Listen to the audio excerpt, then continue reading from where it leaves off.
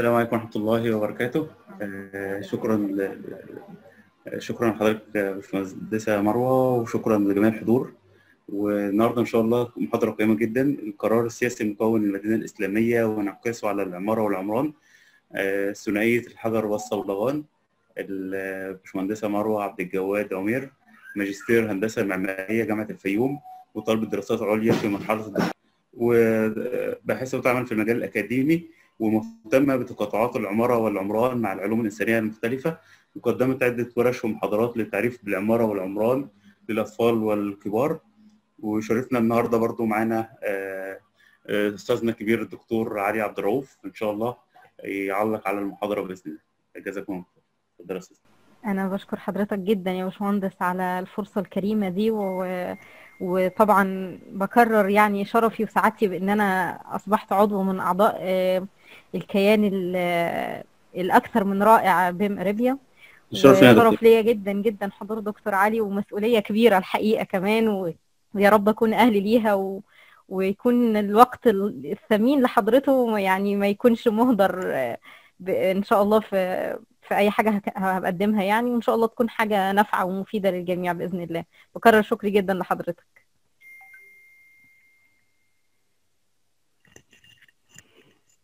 إن شاء الله يكون الصوت واضح وكويس؟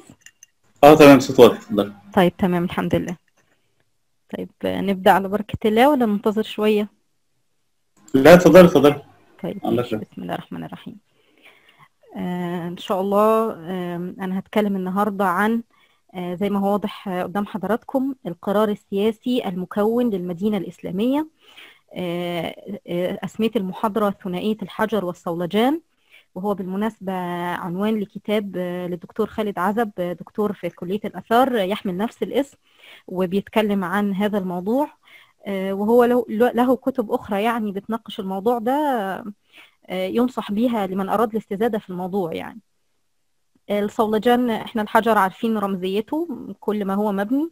والصولجان الصولجان هي عصات الحاكم ودايما كانت تستخدم كرمز للإشارة للسلطة الحاكمة أو رمز للحاكم يعني. فلما أكون بتكلم عن ثنائية الحجر والصولجان يعني بتكلم عن الثنائية التي جمعت ما بين الحجر المشكل لعمران المدينة ومعمارها والصولجان أي القرار السياسي الحاكم. آه، بسم الله. الأول قبل ما أبدأ في صلب الموضوع نفسه الحقيقة حابة أتكلم في نقطة آه، أنا هعتبرها تأصيلية للفكرة ككل وهتكلم فيها بشكل مختصر جدا وربما يكون مخل أو أكيد هيكون مخل لأن هي نقطة الحقيقة آه، عميقة جدا وتشعباتها كتير والحديث فيها يستلزم لوحده العديد والعديد من المحاضرات. فأنا صعب جدا إن أنا أجملها بسرعة كده في معرض الحديث لكن آه، هتكلم عنها برضو ولو بشكل سريع ومختصر.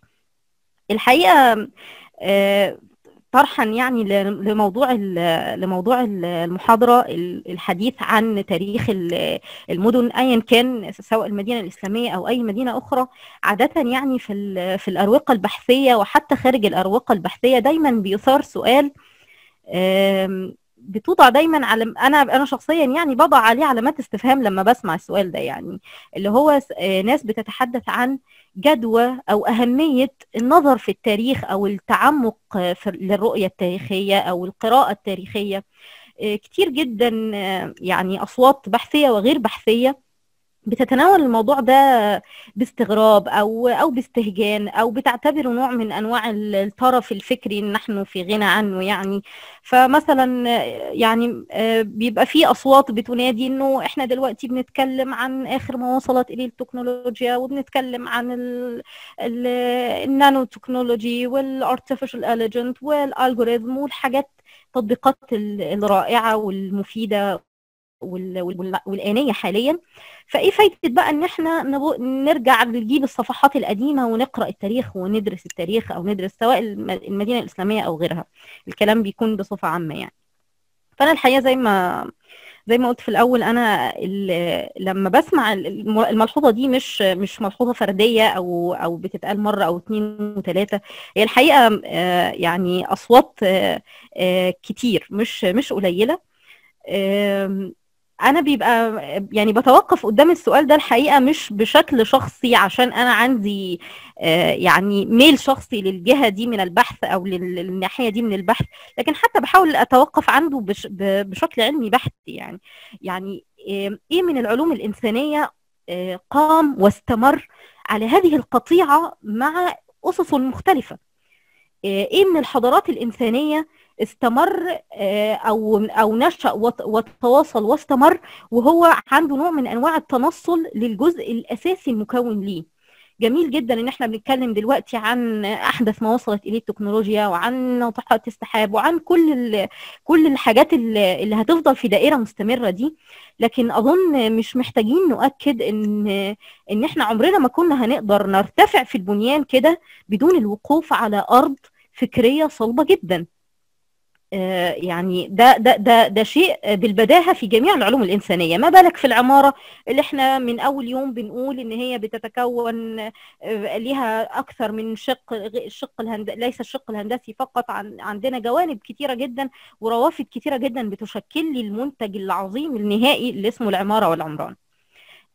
أنا دلوقتي مثلا لما بقرأ تاريخ المدينة الإسلامية أو أحاول إن أنا أعيد النظر في المكونات المشكلة لهذه المدينة أنا بتكلم عن المدينة الإسلامية عشان هي الحالة اللي أنا هتكلم عنها النهارده لكن هأكد إن ده كلام ينطبق على أي قراءة أي قراءة أو أي رؤية للتاريخ بصفة عامة يعني. أنا دلوقتي لما وصلت إن أنا بقرأ المدينة الإسلامية وبتعمق في تفكيك المكونات الخاصة بيها. أنا قدرت بطريقة الحقيقة سلسة وواضحه جدا. يعني أنا وغيري أو من الباحثين مش مش بتكلم عن نفسي بتكلم عن عن حتى ما قدم ليا من من من اطروحات يعني. إزاي قدرنا إن إحنا بقراءتنا لهذه الفترة قدرت إن أنا أخرج بصورة واضحة جدا ومتكاملة الأركان لطبيعة الشخصية الإنسانية التي عاشت تلك الفترة. أنا لما مسكت المنتج العمراني للمدينة الإسلامية والمنتج المعماري المكون ليها إزاي لما درست هذا النسيج المتفاعل هذه الفضاءات المعمارية المختلفة إزاي قدرت أفهم منها الشخصية التي عايشت هذه الفترة؟ قدرت أفهم منها طبيعة التفاعلات الإنسانية اللي حدثت فيها؟ قدرت قدرت أفهم منها المبادئ والأسس التي قامت عليها والتي ارتكزت عليها. إزاي كل ده قدر يوصلني لما حللت المنتج العمراني والمعماري ليها؟ طيب هل الفترة الحالية اللي إحنا عايشين فيها لو تخيلنا ما هو إحنا في يوم من الأيام هنبقى ماضي لمستقبل. إحنا في يوم من الأيام بعد 100 سنة إحنا حاليا هنبقى ماضي لحد تاني. يا ترى لو إحنا دلوقتي بندرس التجول في في المدينة المعاصرة اللي إحنا عايشين فيها ايا كانت المدن اللي إحنا عايشين فيها هل دراسة المدينة الحالية أقدر أخرج منه بنفس النتائج اللي خرجت منها لما درست المدينة الإسلامية أو أي مدينة تاريخية؟ يعني هل مدني الحالية معبرة حقيقية عن هويتي كمواطن 2020 زي ما المدينة الإسلامية كانت معبر أمين أمين عن ال ال الإنسان اللي عاش فيها في الفترة دي؟ طيب هل أنا قدرت ان أنا آه يعني إحنا دايما حتى بنقول إنه والله اللي بيحاججنا يعني بالمحجة دي بنقول له طب خلاص انت إذا قدرت إن انت توصل للقراءة التاريخية وتستخلص ال ال ال المفاهيم والأفكار والدروس والمبادئ اللي هتخليك تقدر تستمر دلوقتي في الحاضر وتكمل للمستقبل في الحالة دي ممكن أتناقش في فكرة تجاوز بقى ال ال الفترة الماضية أو القراءة التاريخية. لكن أنا حتى النقطة دي مش قادرة أطلع بيها بشكل كامل.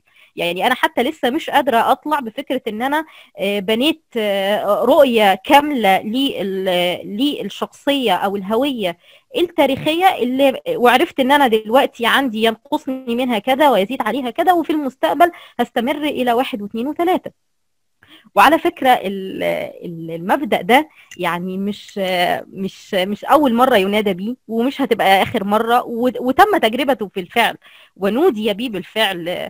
يعني كلنا ك يعني أي حد معماري يعرف الباو هاوس وع- وعارف يعني إيه مدرسة الباو هاوس في العمارة وال والمرحلة المفصلية اللي شكلتها الباو هاوس في تاريخ العمارة ككل. مدرسة الباو هاوس كمدرسة تعلم العمارة يعني كان آه، منعت تماما تدريس آه، تاريخ نظريات العمارة ومنعت آه، ومنعت آه، الطلبة إن هم يطلعوا على آه، آه، ال- ال- التاريخ السابق للعمارة واعتبروا إن العمارة تبدأ من الحرب العالمية الأولى. ما قبل الحرب العالمية الأولى خلاص ده ليس عمارة ويجب يعني لو لو ينفع يمحى من التاريخ يبقى أفضل. ويعني أنا عايزة أقول إن الطرح ده جرب بالفعل وفعلا فشل وأثبت فشل. لما قدمت لنا بقى الطراز الحاجات دي يمكن طلبة عمارة د- درسوها وعدوا عليها. قدمت لنا بقى الطراز ال- الانترناشونال وأصبح بقى العالم كله نسخة موحدة ويا ريتها حتى نسخة يعني نسخة جيدة لكن كانت نسخة مل العالم منها سريعا وتعالت الأصوات سريعا جدا في ظرف عقود بسيطة. آه، تعالت الأصوات بالشكوى من من هذا النمط الموحد لجميع دول العالم. آه، ف فأنا يعني سبحان الله لما يكون ربنا سبحانه وتعالى يعني آه، بيباهي خلقه إنه خلقهم شعوبا وقبائل إنه جعلهم مختلفين ولو شاء لجعلكم أمة واحدة يعني. ففي الوقت في نفس الوقت ده أنا عايزة أوحد نمط كامل لجميع البشر أنزع جميع الناس من هويتهم المختلفة أنزع جميع الناس من بيئتهم آه، وثقافتهم المختلفة وأوجههم ناحية آه، حتى في آه، يعني حتى في المناقشة البحثية نبقى كلنا عايزين نمشي في اتجاه واحد غالبا حتى مش بتاعنا مش طالع من عندنا. ف يعني أعتقد إنه مفيش أي علم إنساني يقدر يستمر ويتصل بدون بدون اتساق مع مع أصله ومع بيئته ومع ماضيه آه، ومن هذا الاتساق يقدر يقف في حاضر آه، يعني مفهوم ويقدر منه ينطلق لمستقبل آه، لمستقبل مفهوم. وأظن حتى إن إحنا لما بنتكلم عن التفاعل الإنساني في المدينة الإسلامية وال والنسيج الحضري اللي أنتجه اللي أنتجته هذه المدينة وبنقارن نفسنا دلوقتي مثلا بال في في العصر الحالي. يعني إحنا مرينا بأزمة أجلستنا جميعا في البيوت آه، في فترة الحجر الصحي بعد كورونا. آه، كلنا تقريبا المعماري وغير المعماري استشعر إن هناك مشكلة ما. ربما المعماري مش قادر آه، آه، يعبر عنها أو يفهم هي إيه بالظبط لكن هو استشعر المشكلة ما. استشعر إن البيت اللي هو عايش فيه آه، لا ينط... لا تنطبق عليه معاني البيت ال- المفروضة السكن ال- الألفة الاستقرار. استشعر إن المدينة اللي هو ماشي فيها لا تشبهه. آه، فعودتي للمدينة التاريخية وقراءتي للمدينة الإسلامية هي يعني نقطة انطلاق أساسية لا غنى عنها إن أنا أتكلم قدام على المدينة 2020 و2050 و2100 لحد ما ربنا يشاء يعني. فدي نقطة في الأول آه، الحقيقة يعني زي ما قلت في الأول إن أنا أكيد ه- هتكلم عنها بشكل مخل لأن زي ما قلت إن هي نقطة تشعباتها كتير لكن الحقيقة كان مهم جدا إن أنا يعني أوردها في الأول لأن أذكر حتى لما باشمهندس عمر أكرمه الله لما بعت وقال لي إن إحنا عايزين تبقي معانا وكده أنا نفسي انتهكت النهج ده لحظات يعني. أنا قلت له يا باشمهندس ال- الخط اللي أنا ماشية فيه مش على تماس قوي مع الاتجاهات الحديثة اللي حضراتكم بتناقشوها وكده. فلما ناقشته في في موضوع ال- ال- البحث الحقيقة يعني ده نظرا لأن هو شخصية استثنائية جدا الحقيقة أشاد بيها جدا وقال لي بالعكس إحنا محتاجين جدا ال- القواعد الفكرية دي قبل ما ننطلق لأي حاجة تطبيقية. وسعيدة انه انه إنه يعني في حد ممكن يكون بيشاركني وجهة النظر ومفيش أي تعارض ما بين الجانبين. أي علم في الدنيا بيتكون من فروع و... و... واتجاهات ولازم كل جهة يكون ليها يعني قائمين عليها ومفيش جهة بتقلل من الأخرى ابدا يعني. فده ببساطة إجابة على سؤال إحنا ليه أصلا هنتكلم النهاردة عن المدينة الإسلامية؟ وإيه اللي هيعنينا من إن إحنا نفهم المدينة الإسلامية؟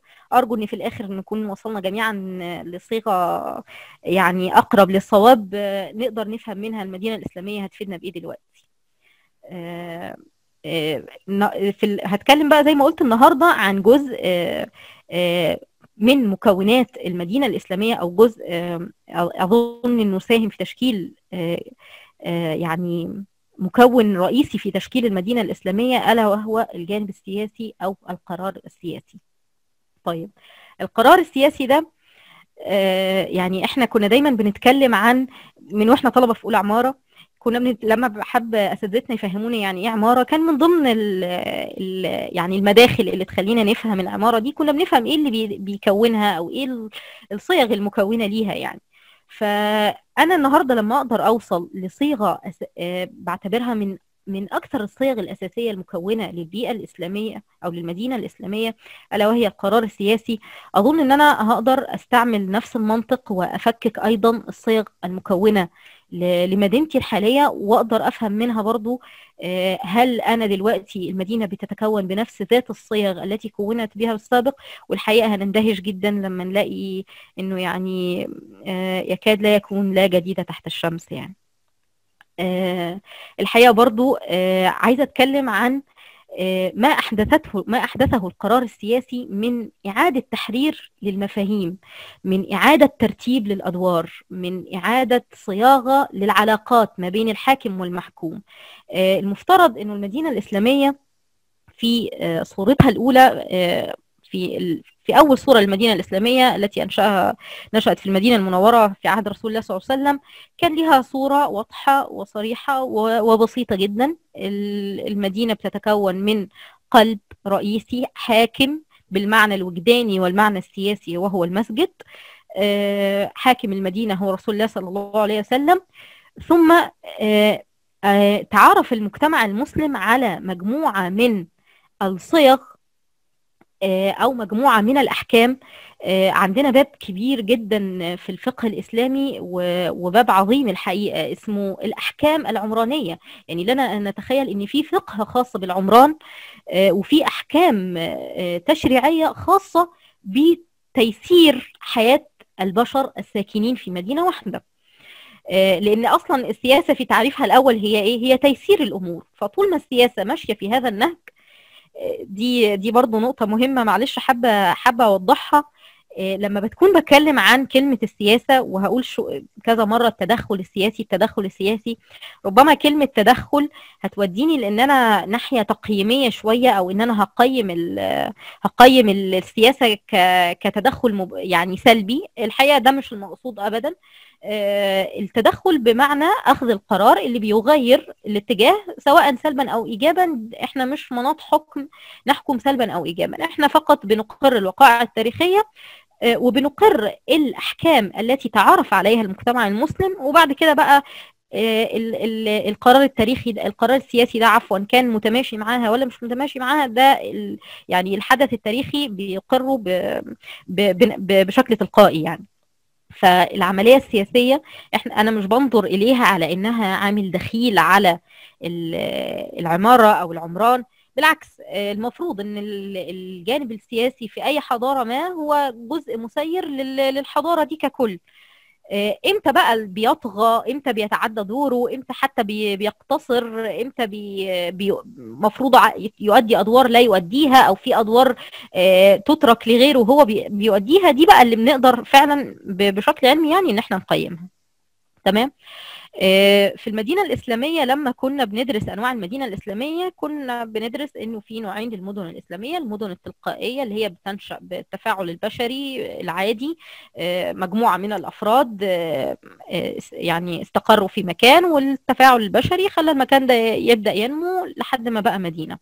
وفي نوع آخر عفوا.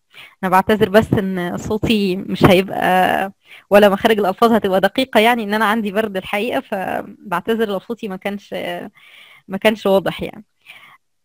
النوع الثاني اللي هي المدن المخططة. وبالمناسبة جزئية المخططة دي عليها يعني نقاشات كتيرة جدا إيه أصلا تعريف المخططة ما بيننا وما بين المستشرقين وكده فنقطة المخططة دي فيها نقاش لوحديها يعني إيه أصلا المخططة وغير المخططة. لكن هناخد بالتعريف المبدئي خالص المدن المخططة المدن اللي اتخذ قرار بإنشائها. هنلاحظ من أنواع المدن دي آه، يعني حتى بقراءة آه، بقراءة عناو... بقراءة أسمائها العواصم مدن الأمراء المدن العسكرية مدن الأربطة هنلاحظ إن الصبغة السياسية واضحة جدا في تكوين و... و... وأسباب إنشاء هذه المدن. آه، زي ما إحنا شايفين مثلا قدام حضراتكم في ثلاث أمثلة هنتعرض إليهم آه، يعني تباعا لثلاث نماذج مختلفة للمدينة الإسلامية. منذ لما بدأت إزاي القرار السياسي مغير لي هنا شكل كل مدينة ومغير آه، آه، ال- القلب والنواة بتاعت كل مدينة. آه، المدينة الإسلامية زي ما قلنا بدأت بقلب آه، أساسي وهو المسجد.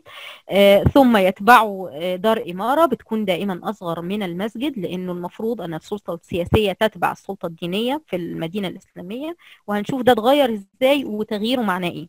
ثم بعد كده بدأنا نشوف تبادل و- وتغير ليها وما إلى ذلك. كنت كلمت حضراتكم عن الأحكام الفقهية والعمرانية المشكلة أو المكونة للمدينة الإسلامية.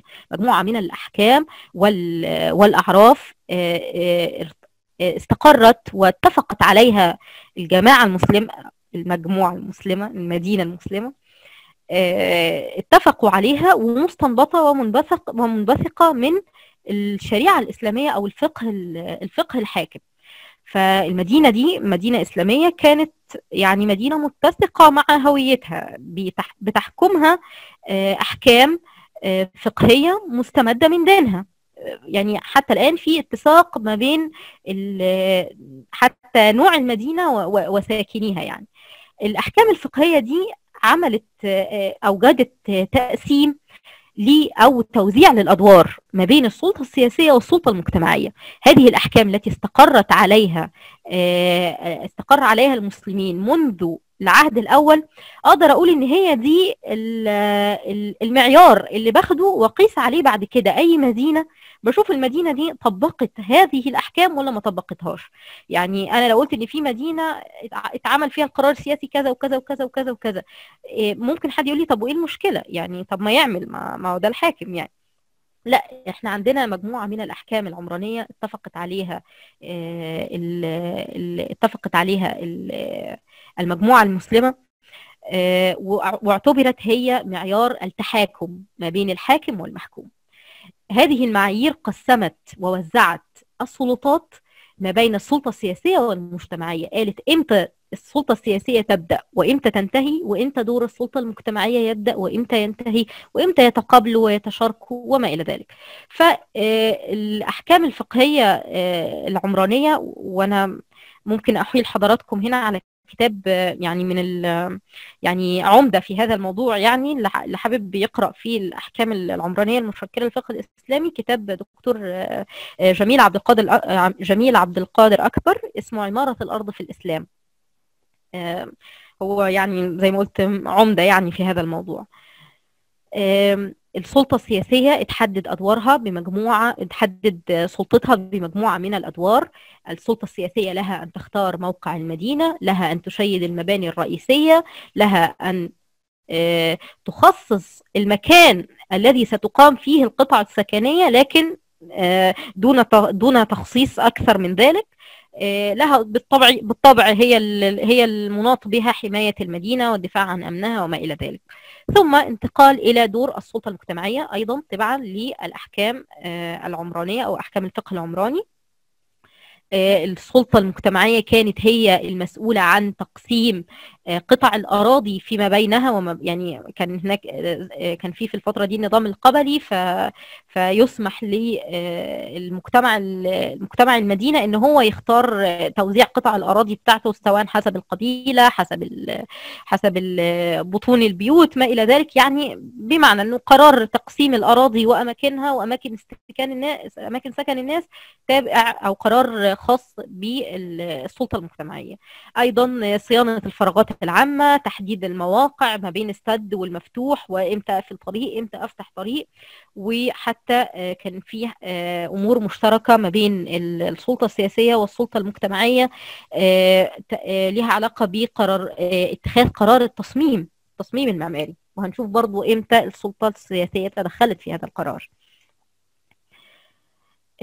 في الأول هتكلم عن إحنا قلنا المدينة السياسية المدينة الإسلامية عفوا ماشية بنمط معين وقلنا إن أشرت في الأول إن في إن هي مشت بنمط معين وفي مرحلة وبدأ هذا النمط بالتغير. الحقيقة في نقطة فاصلة في التاريخ الإسلامي بنعتبرها هي اللي بدأ عندها هذا الانقلاب ما بين أدوار السلطات السياسية والمجتمعية. هذه النقطة الفاصلة كانت في عهد الدولة الأموية. إحنا عارفين أنه هذا العهد يعني شهد الكثير من الاضطرابات السياسية لكن ما يعنينا منها هنا الجزء المتعلق ب أو الجزء المؤثر على عمران المدينة. ما دون ذلك مش داخل في نطاق اختصاصي حاليا يعني. عفوا. في عهد الدولة الأموية انقلب نظام الحكم من من النظام الشورى اللي هو كان معمول به بعد وفاة رسول الله صلى الله عليه وسلم وحتى فترة الفترة الأموية. كان الحكم في الإسلام بالشورى باختيار الناس. انقلب في عهد الدولة الأموية إلى نظام الملك العضوض أو الملك المورث. هذا الملك المورث طبعا كان نظام جديد على على الدولة الإسلامية لم يرضى عنه الكثيرون. آه هذا النظام تبعه آه قيام ثورات. آه الثورات دي طبعا لما لما أقول إن في ثورة يبقى أكيد هستحضر بشكل بديهي قيام اعتراضات قيام يعني يعني تقلب على الحاكم يعني. فهذا فهذا الخوف من الثورات أو من الاعتراضات نتج عنه الحاجة لزيادات الدفاع والتأمين والتحصين مش من العدو الخارجي اللي خارج المدينة لكن من العدو الداخلي. اتكلمنا في الأول إزاي السياسة بتعيد صياغة وتعيد تحرير المفاهيم. إحنا عندنا مفهوم واضح لطبيعة الحاكم والمحكوم. الحاكم وظيفة سياسية يقوم على خدمة المدينة يحميها من العدو الخارجي. دلوقتي بدأت السياسة تعيد تحرير هذه المفاهيم فأصبح عندي عدو داخلي أخشى منه أكثر حتى ربما من خشيتي من العدو الخارجي. فبالتالي غيرت في بنية المدينة غيرت في تخطيط المدينة أصبح عندي وسائل دفاعية داخل المدينة تحميني من أهلها ناهيك طبعا عن الدفاعية اللي بتحميني من خارج المدينة. آه هذه هذا التغير الكبير في في نظام الحكم أتبعه آه تغير في آه التكوين أو البنية المدينة الإسلامية. التغير ده شفناه إزاي؟ زي ما قلت لحضراتكم شفنا آه تغير آه آه لعلاقة المسجد ودار الإمارة ومكانهم وتوزيعهم وحجمهم والرمزية التي يحملها موقع كل منهم الرمزية اللي بي بي بيرسلها لل لل للمدينة. أنا لما بكون بتكلم عن علاقة السياسة بالعمارة إحنا كنا بندرس علاقة ال ال ال أو الأدوار المشكلة المفاهيم المشكلة للمنتج المعماري. كنا بنتكلم ان المنتج المعماري ده وظيفة وفي كمان شق جمالي وفي شق وبنقعد نتكلم بقى في, في الأمور دي.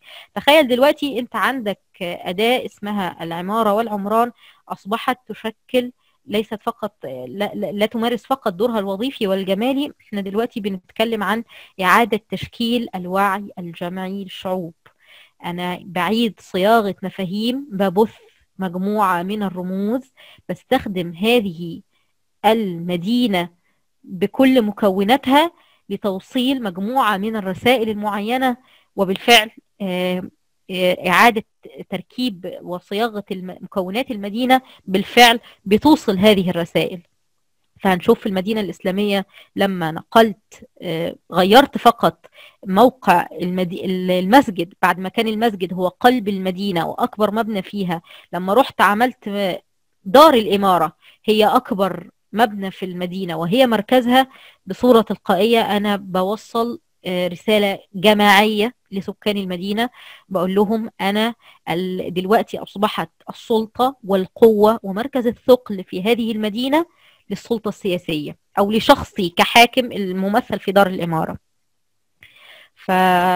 فهي هذه النقطة المفصلية كانت في عهد الدو... الدولة الأموية. و... وبدأنا نشوف مجموعة من الإجراءات.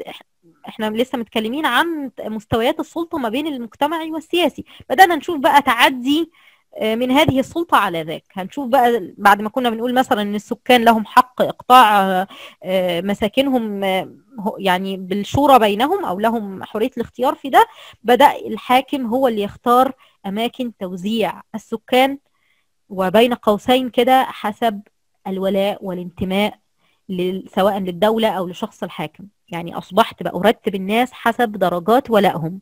فالأقرب والأكثر ولاء هو الأقرب لداري لدار الحكم أو دار الإمارة ثم فالأبعد فالأبعد فالأبعد.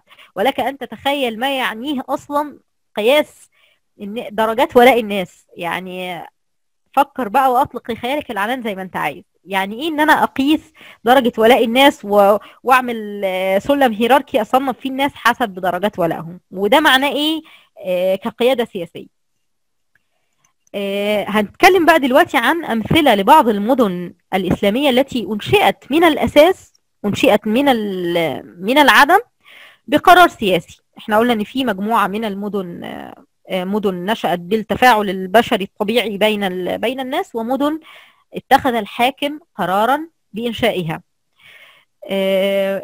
مثلا من المدن اللي أنشئت بقرار سياسي وبرضه هرجع أكد إحنا مش بنقول دي حاجة حلوة ولا وحشة. يعني ده جزء من طبيعة عمل الحاكم وحتى الأحكام الفقهية العمرانية ادت له هذا الحق في أن يختار مكان مدينة ومكان وحتى حطت له مجموعة معايير الاختيار يختار موقعها فين يتفق بالناس إزاي يحبب يحبب السكان في المجيء إليها إزاي وما إلى ذلك. ف من المدن من أوائل المدن تقريبا بعد بعد مدينة رسول الله صلى الله عليه وسلم المدن التي نصرت بقى في الجزيرة العربية مدينة البصرة ثلاثها مدينة الكوفة المدينتين في العراق. البصرة طبعا كانت أول المدن الممصرة خارج الجزيرة العربية. كانت في عهد سيدنا عمر رضي الله عنه. الجميل في المدينة دي لما لما تقرأ المكاتبات بين سيدنا عمر ووليه كان الوالي على المدينة آنذاك كان القائد عتبة ابن غزوان مش عارفة يعني أعتقد إن أنا قلت الاسم صح. المكت... لو تقرأ المكاتبات ما بينهم يعني الحقيقة تجد الأمر يعني يعني جذل وشيق جدا يعني. كان المكاتبات ما بين سيدنا عمر وما بين وليه على المدينة تتحدث في كل صغيرة وكبيرة تخص المدينة. بدءا من مكان إنشائها. أسباب اختيار الموقع. المواد البناء المستخدمة لبناء لبناء المدن. لبناء البيوت عفوا. يعني كان في مكاتبات بينهم نبني بالطين ولا باللبن أصل أصل اللبن بيتحرق نبني عفوا باللبن ولا بالقصب أصل القصب بيتحرق فإحنا هنبني باللبن. حتى أدق القرارات المعمارية اللي اتخذت في المدينة كان في يعني رأينا عملية التدرج ما بين السلطة المجتمعية الوالي اللي بياخد رأي السلطة المجتمعية ثم يرسل برأيهم للخليفة الحاكم الأكبر ثم الخليفة بيرد عليه وما إلى ذلك. حتى في الكتب التاريخية بيقولوا جملة كده يقول لك إنه ما كانوا يعني في مش مش مش فاكرة النص يعني إنما إن هو ما من أمر إلا وكان يرجع إليه فيه. تعود على سيدنا عمر رضي الله عنه يعني. ف... فاحنا هنا بنشوف مثال وأنا بقول لحضراتكم أنا يعني مش مش مش مش مش هقيم مش هقول ده حاجة صح ولا غلط لكن إحنا بن... بنفند ال... قلنا عندنا في الأول كريتيريا بنقيس عليها السلطة المجتمعية قالت هعمل إيه السلطة السياسية هنا قالت هعمل إيه في البصرة السلطة السياسية اختارت موقع المدينة اختارت مكان المسجد نواة المدينة وقلبها كانت المسجد الكبير. ثم كان في القبائل اللي كانت موجودة ساعتها هي كل قبيلة اختارت المكان اللي هتختط فيه وزي ما قلنا إنه بدأ يبقى في بينهم وبين بعض نقاشات على سواء على مستوى السلطة التنفيذية أو السلطة السياسية الأكبر الحاكمة عن أدق التفاصيل العمرانية والمعمارية في المدينة. ثلاثها الكوفة برضو الفترة بينهم قصيرة جدا وبرضو يعني خض نفس النهج اللي صار في الكوفة اللي صار في البصرة كان في الكوفة أيضا. توقف دور السلطة السياسية عند اختيار الموقع واختيار قلب المدينة كمكان لبناء المسجد وهو أكبر مبانيها. وكان هناك دار صغيرة حتى ما كانتش حتى يطلق عليها دار إمارة بالمعنى المفهوم كانت يعني ما يشبه ديوان لتيسير أمور المدينة ككل يعني. وكان بيت بيت والي المدينة زي أي بيت موجود في أي مكان يعني. ثم ده مثال من أوائل المدن الإسلامية البصرة والكوفة اللي هم أول مدينتين مصروا خارج خارج الجزيرة. بعد كده هننتقل لمثال تاني في فترة لاحقة مش بعيدة قوي وإحنا قلنا عن فترة الدولة الأموية وقلنا إن هي دي الفترة اللي شهدت يعني النقطة المفصلية التي غيرت طبيعة نظام الحكم في الإسلام وبناء عليها تغير تكوين المدينة الإسلامية. آه واحد من أشهر ولاة من أشهر ولاة الدولة الأموية وكلنا أكيد سمعنا عنه الحجاج بن يوسف الثقفي. آه الحجاج بن يوسف آه كان أصلا قاعد في يعني كان والي على البصرة وكان في هناك ثورة قامت قامت عليه فاستقل بجنده عن المكان اللي حصل فيه الثورة والخلاف اللي هي اللي هم ما بين مدينتين البصرة والكوفة. استقل بجنده واختار موقع جديد تماما لبناء مدينة جديدة وأسماها واسط وهي موجودة في في العراق. لكن الحقيقة الحجاج عمل حاجات في المدينة دي يعني كان له السبق فيها يعني. هو كان له السبق في حاجات كتير يعني. هو كان عنده مشروع خاص جدا مشروع يعني باللغة باللغة الحديثة مشروع إقصائي لكل ما لكل مخالف ليه يعني. فالحجاج في هذه المدينة اولا طبعا خد قرار إنشاء مدينة جديدة ليستقل بجنوده عن المدينة الأخرى اللي كان فيها ثورة. ثم انتقى سكان مدينة واسط ممن لهم ولاء للدولة الأموية اللي هو طبعا والي من ولاتها فأنا أصبحت هنا كده يعني بقيس درجات ولاء الناس قبل ما تيجي تسكن في المدينة. وتحت دي بقى يعني يعني ضع ما شئت من خطوط يعني. بعدين طبعا برضو أنشأ سور خارجي للمدينة مفهوم إنه هو عايز يحمي المدينة خارجيا وما إلى ذلك. بعدين عمل حاجة ما قبل واسط ما كانتش موجودة أبدا ما قبل واسط كانت المدينة الإسلامية زي ما زي ما قلت في الأمثلة السابقة وقلت في الأول قلبها ومركز الثقل الأساسي فيها هو المسجد. السلطة الدينية تعلو السلطة السياسية السلطة السياسية تتبع السلطة الدينية. في وسط بدأ الحجاج أنشأ دار الإمارة الخاصة به في قلب المدينة. تتجه إليها الأربع شوارع المختلفة اللي المدينة تصب في دار الإمارة جعل مساحتها مساحة دار الإمارة أكبر من المسجد الجامع. ودي كانت أول مرة تحصل في مدينة إسلامية. ما قبل وسط كانت دايما المسجد الجامع هو أكبر مباني المدينة. و... و... وأنا قلت لحضراتكم إن ده له رمزية كبيرة وله رسالة كبيرة. فأنا بتكلم هنا حتى المصطلح ده بيستخدم حديثا. إحنا دايما بيقولوا الأذرع استخدام الأذرع لخدمة السياسة أو الأذرع السياسية التي تخدم السياسة. أنا دلوقتي بتكلم عن تكوين معماري وعمراني استخدم كذراع للسياسة أو ك ك ك يعني رسالة رمزية تريد القيادة السياسية أن توصل بها أن توصلها إلى عامة الشعب وهي أن دفة الحكم انتقلت. مركز الثقل تغير. قلب المدينة الآن هو دار الإمارة. أكبر مدن أكبر مبانيها هي دار الإمارة. المبنى الرئيسي والمؤد والذي تصل إليه جميع شوارع المدينة هو دار الإمارة. إذا أنا أتحدث عن المبنى الأهم إذا السلطة الأهم وهي السلطة السياسية وليست السلطة الدينية. بعد واسط إحنا وسط بدأت تعتبر إن هي يعني بداية هذا التعبير الصريح عن الميول الدفاعية والرغبات التأمينية اللي تعلو على أي هدف آخر. اعتبرت إن وسط يعني بداية صريحة لهذه لإظهار هذه الرغبة. بعد كده وصلنا لمدينة بغداد اللي كتير جدا من القراءات التاريخية بتعتبر إن بغداد يعني هي خلاصة التجربة العمرانية الإسلامية. بغداد اتخذ قرار إنشائها بقرار سياسي. تمام. كان الخليفة الخليفة المنتصر هو بانيها يقال حتى في كتب التاريخ إنه هو من اختطها مدورة. يعني حتى دايما من يعني من باب الطرافه كنا بنقول إن لازم نعتبره من ضمن المعماريين. ما هو اللي رسم من ضمن المخططين يعني ما يعني واحد من أوائل المخططين الإسلاميين. ما هو اللي رسم تخطيط المدينة. هو اللي هو اللي, اللي, صنع هذه التقسيمه زي ما حضراتكم شايفين بغداد كانت بتكون من كان بتحمل ثلاث أسوار داخلية.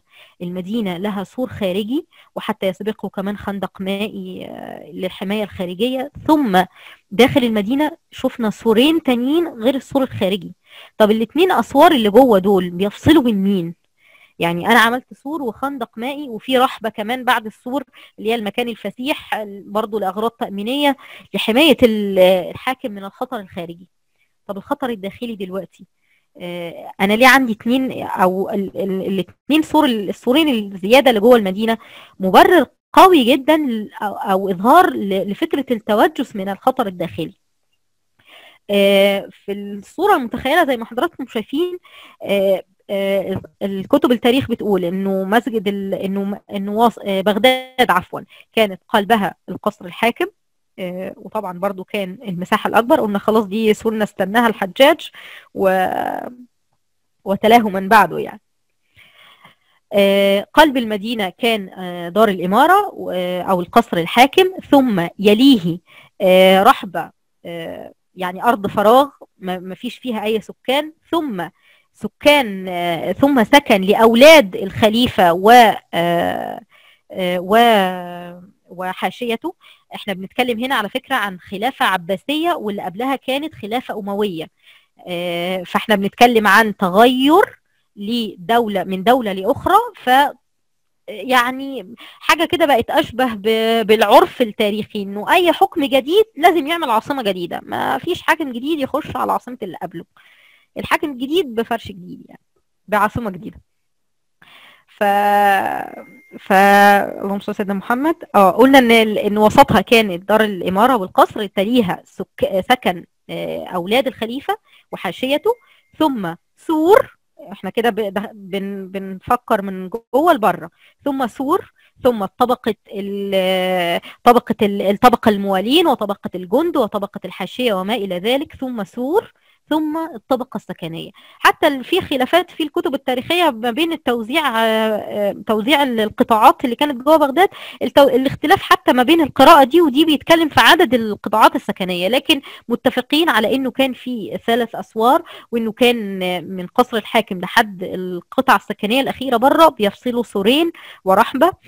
آه أيضا كانت حتى حتى مكان الأسواق إحنا قلنا إن إن السلطة الحاكمة لها أن تحدد مكان الأسواق في في الحكم العمراني في في الفقه العمراني عفوا. حتى مكان الأسواق ده قام قام الخليفة بتغييره أكثر من مرة. يعني كان مرة دخلوا جوه المدينة بعدين خاف إن يكون في جواسيس أو حد يترصد من أتباع الدولة الأموية داخل السوق فراح مخرجه بره أسوار المدينة. يعني يعني حاجات تشي كلها بإن الفكرة الأمنية والهاجس الأمني كان هو المسيطر الأكبر طوال فترة الحكم. ثم شايفين حضراتكم في خريطة تانية بعد بعد بغداد برضو لأهداف سياسية لها علاقة برضو بالثورة داخل بغداد.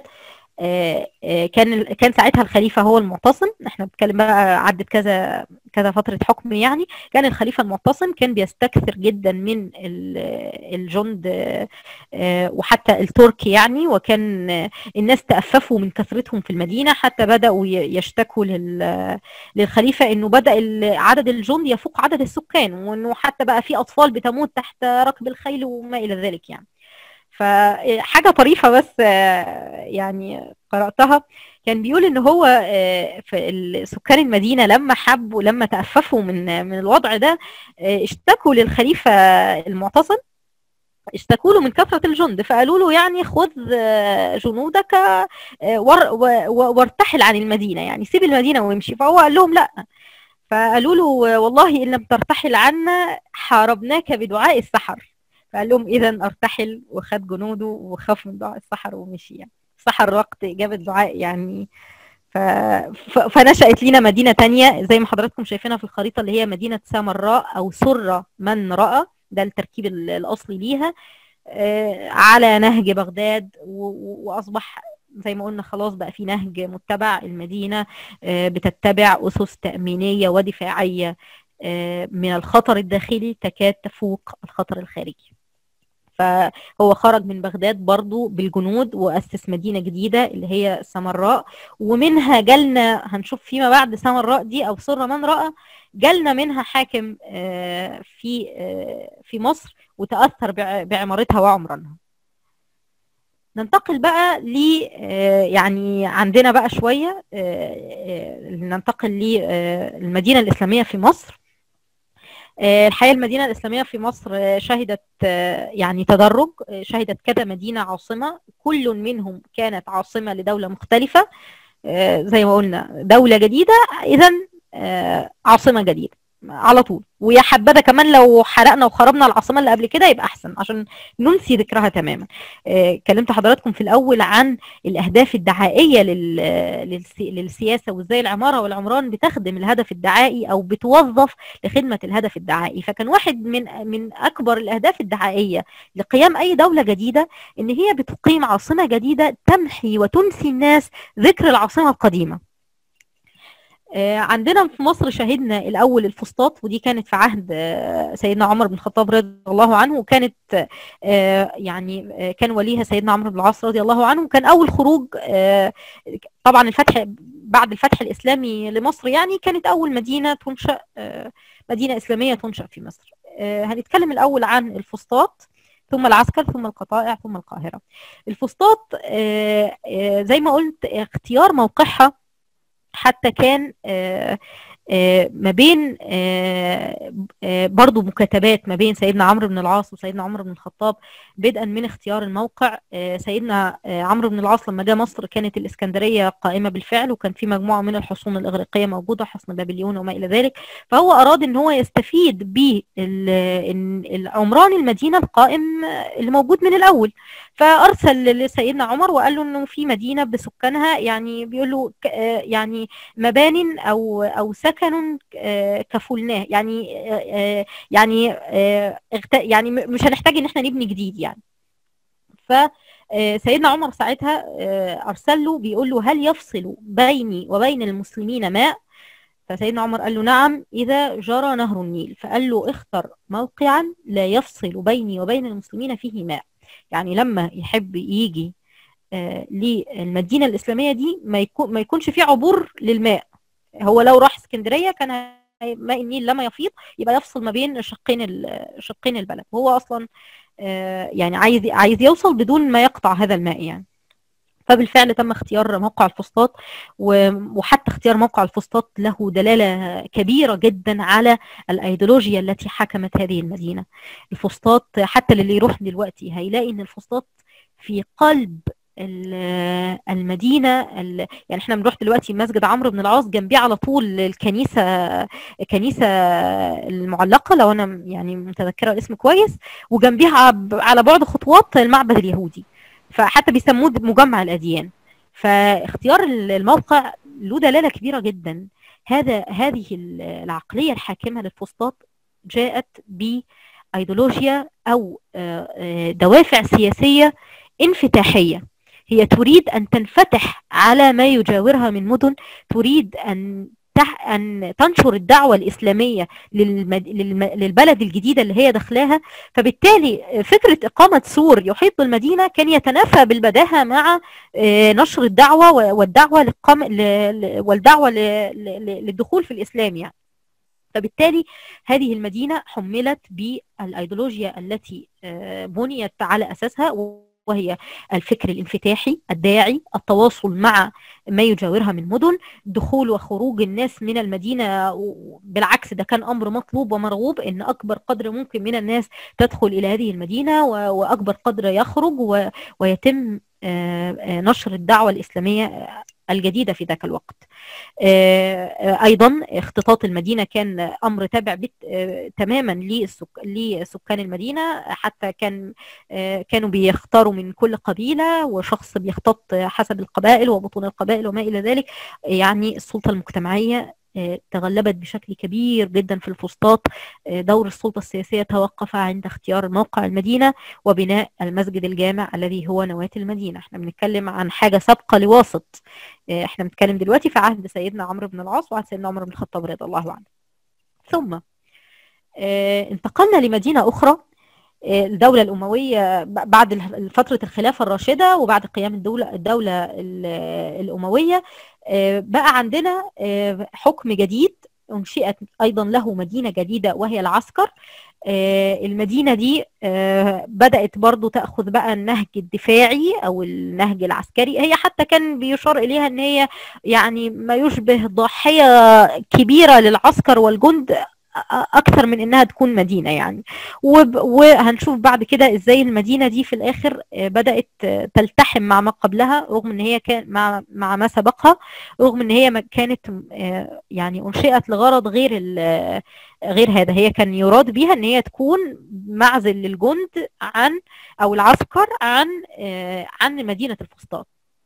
ثم انتقلنا لمدينة ثالثة اللي هي برضو كانت جات بعد حكم جديد الحكم حكم والي من ولاة العباسيين أحمد بن طولون. وأحمد بن طولون ده نشأ أصلا في مدينة سمراء. كنا اتكلمنا عن سمراء من دقائق قليلة. وهو حتى تأثر بعمارة سمراء حتى بنى فيها مسجد أحمد بن طولون الشهير حاليا ذو القبة الملوية الشهيرة جدا. والقبة دي كانت عفوا المئذنة. ذو المئذنة الملوية الشهيرة والمئذنة دي تطابق المئذنة الملوية اللي موجودة في مدينة سمراء فهو يعني حمل إرثه وتاريخه القادم به من سمراء وأعاد تكوينه وأعاد صياغته في القطائع. نفس ما انطبق على العسكر انطبق على القطائع كانت برضو مدينة مخصصة لسكن الجنود الحاكم وجنوده وحاشيته. يقال حتى إنه كان العامة يمنعون من دخول القطائع. بعدين وصلنا بقى بعد القطائع هننتقل ل أنا عمال أعيد الكلام. حاكي حكم جديد الدولة الفاطمية لا هنسكن في الفسطاط ولا هنسكن في العسكر ولا هنسكن في القطائع حكم جديد اذا ستؤسس عاصمة جديدة. يعني خلاص.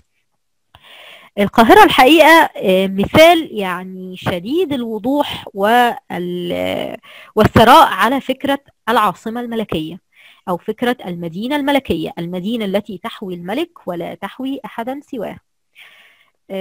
القاهرة اللي يفرق القاهرة عن العسكر والقطائع وخلى يعني العسكر والقطائع ملهمش العمر الطويل اللي كتب للقاهرة. العسكر والقطائع فيما بعد التحموا وكل اللي كت المدن اللي هي أنشئت عشان تكون ضواحي عسكرية خلاص برضو التحمت بال بالمدن بعد بالمدن اللي جنبيها بعد كده. القاهرة اللي يمكن يفرقها إن هي كانت منذ قرار إنشائها محملة ب ايديولوجيا سياسية ودينية واضحة جدا. إحنا عارفين إن الحكم الفاطمي كان حكم شيعي فأراد أن يتخذ المكان اللي يكون يعني من حيث الموقع من حيث الموارد اللي يكون يعني نقطة انطلاق قوية لاحلامه التوسعية في نشر المذهب الفاطمي أو في في عفوا في نشر المذهب الشيعي. الدولة الفاطمية ما كانتش دولة منغلق تريد أن تنغلق على نفسها. كان عندها رغبات توسعية كبيرة جدا. وبالمناسبة اللي جاء من الدولة الفاطمية كان أصلا يعني مؤسس الخليفة مؤسس الدولة الفاطمية أسست في البداية زي ما إحنا عارفين في الجزء شمال أفريقيا تونس حاليا. أنشأ مدينة اللي هم جم منها اسمه عبد الله المهدي مدينة اسمها المهدية منسوبة لاسمه. حتى تاريخ إنشاء هذه المدينة برضو انطبق في يعني ينطبق عليها تقريبا كل ما سنراه ينطبق على القاهرة. يعني هي يعني تاريخ بيعيد نفسه أو سنة يستناها الحاكم فيسير عليها من بعده. يعني هو كان الحكم الفاطمي كان في مدينة اسمها زويلة ثم انتقل عشان لما حب يأسس دولة فتية جديدة أسس مدينة جديدة جنب زويلة وسماها المهدية. وكان فيها أمر غريب جدا المهدية دي. المهدية كانت تحوي قصر الحاكم والأسواق طبعا قصر الحاكم وحاشيته. خلاص وأبناء وما إلى ذلك. والأسواق ومحاطة بسور. وعلى بعد مسافة يعني مسافة ليست بسيطة مدينة زويلة اللي هي مدينة العامة. فكان الناس بينتقلوا من زويلة بالنهار يروحوا للمهدية لتجارتهم ولأسواقهم ثم بالليل يمشوا من المهدية وتغلق وراءهم الأسوار ويرجعوا لسكنهم فين؟ في زويلة. فالناس اشتد عليهم الأمر وشق عليهم الأمر واشتكوا إلى الخليفة عبد الله المهدي. قالوا له إن الارتحال ده يشق على رعيتك. الناس ساكنة في مدينة والأسواق والدكاكين في مدينة أخرى ويوميا بيرتحلوا ما بينهم. فهو الحقيقة اجابهم إجابة يعني تكاد تكون يعني بليغة ومعبرة ومختصرة لطبيعة الأيديولوجيا السياسية الحاكمة. هو بيقول لهم إن إذا كانت إذا كان ارتحالهم كل يوم ده ما بين المدينتين مشقة لهم فهو راحة لي. فأنا بالليل فأنا بالنهار أفرق بين أموالهم وبيوتهم وبالليل أفرق بين أهلهم وأموالهم. فآمنوا غائلتهم في الليل وفي النهار. يعني بالنهار هم في المدينة الكبيرة والأسوار مقفولة وبيبيعوا ويتاجروا وأهلهم في زويلة فما يقدروش يثوروا عليا لأني ممكن أروح يعني أبيد أهلهم. وفي الليل هم نايمين مع أهلهم بس أسواقهم وتجارتهم أنا قافل عليها بالسور إذا أنا ضمنت ألا يعني يفكر هذا الشعب ابدا في ثورة علي لأني آم يعني أفرق بين أموالهم وبيوتهم فآمنوا غائلتهم بالليل والنهار غائلتهم يعني قيامهم أو ثورتهم أو غدرهم أو ما إلى ذلك يعني. فهذا الفكر الحاكم في المهدية هو الذي جاء إلى القاهرة بذات الأيديولوجيا بذات الفكر الحاكم بذات النسق الحاكم ليؤسس عاصمة ملكية جديدة بعيدا عن كل العواصم السابقة واختار القاهرة أسست كعاصمة ملكية تماما تحوي قصر الحاكم ومحاطة تماما بسور والدولة الفاطمية بقى الإضافات بقى اللي ضافتها الدولة الفاطمية عما عما سبقها من من مدن ملكية. الحقيقة الدولة الفاطمية كانت عبارة عن يعني آلة دعائية متحركة. كان الجزء الدعائي. وجزء الرسائل الرمزية وإثارة الوجدان كان في أعلى صور وعند الدولة الفاطمية وبدليل إن إحنا لسه حتى الآن ب... عند... عايشين على إرث الدولة الفاطمية الإرث ال... ال... الدعائي بتاع الدولة الفاطمية. يعني إحنا حتى الآن عندنا لسه فانوس رمضان مش عارفة مولد النبي الحاجات دي كلها من موروثات الدولة الفاطمية. وهي الحقيقة كانت ناجحة جدا في الجزئية دي يعني بدليل إنها لسه مستمرة ب... بعد كل هذه القرون. فالدولة الفاطمية كان عندها هذه الرغبة الدعائية هذه الأهداف الدعائية لنشر الفكر الشيعي أو المذهب الشيعي فصمموا مدينة القاهرة بما يتناسب ويخدم هذه الأفكار الدعائية فأنشأوا مثلا هو عايز يمشي الخليفة عايز يمشي في موكب بين الناس والناس كلها تطلع تمشي وراه وتحييه وما إلى ذلك. فهو شاف إنه ما فيش طريق حتى يصلح إنه يعمل فيه موكب. فأنشأ طريقا خاصا بنسميه القصبة. في القاهرة. الطريق ده كان منشأ بهدف سير الموكب الملكي فيه واحتشاد الناس حوله وما إلى ذلك. فالقاهرة صممت يعني بدءا بقرار إنشائها وحتى آخر وحتى آخر يعني قرار فيها كان لخدمة الهدف السياسي. وطبعا أحيطت بسور وبدأ الناس في مصر يسموها مصر المحروسة. إحنا حاليا لما بنقول مصر المحروسة في ناس بتعتقد إن أصل التسمية ده يرجع لأن مصر محروسة ربانيا يعني ربنا حارسها. لا الحقيقة مش ده أصل التسمية رغم إن مصر ليها يعني مآثر أخرى في ذكرت دينيا يعني لكن في فكرة مصر المحروسه لا ما كانش ده أصل التسمية. وأصل التسمية يرجع إن الناس اللي كانت ساكنة بقى عامة الشعب اللي ساكنين في التحام المدن السابقة كانوا بيقولوا إن دي بقى مصر المحروسة. المحروسة بسور المحاطة بسور. آه فالتحام المدن الثلاثة السابقة العسكر الفسطاط والعسكر والقطائع مثل لي هي دي المدينة اللي فيها الناس عايشة وفيها وفيها الأسواق وفيها التجارة. ثم بقى عندي القاهرة الملكية المحرو المسورة بسور اللي فيها الحكم وإدارة الدولة.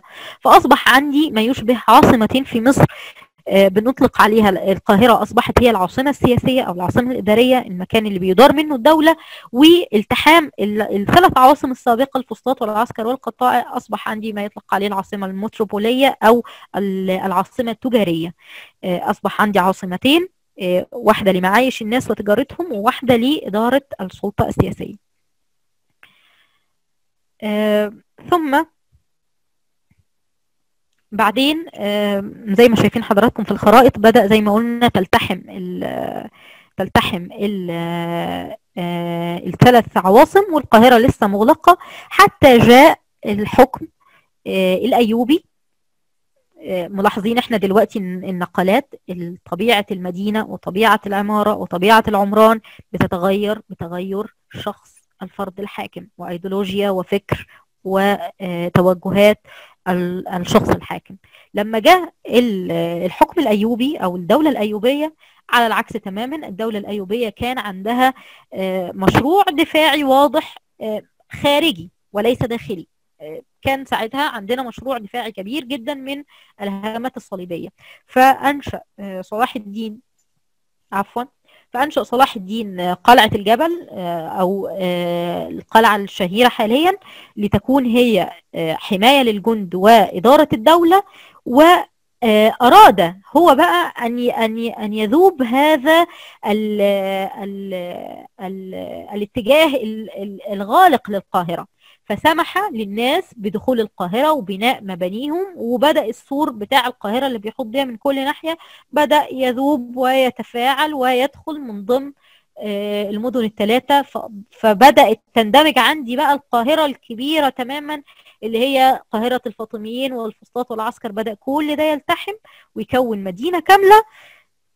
لكن مقر الحاكم في قلعة الجبل وحتى هذا القرار ب تذويب المدن كلها مع بعض أيضا كان قرار الفرد الحاكم أو الشخص الحاكم.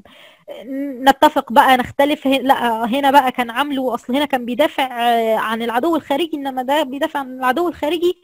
زي ما قلنا إحنا بنقر الحقائق التاريخية والحقيقة هي شرح نفسها بنفسها. يعني مش محتاجة حتى إن إحنا نقول ده ده كان عمل صح وده عمل غلط.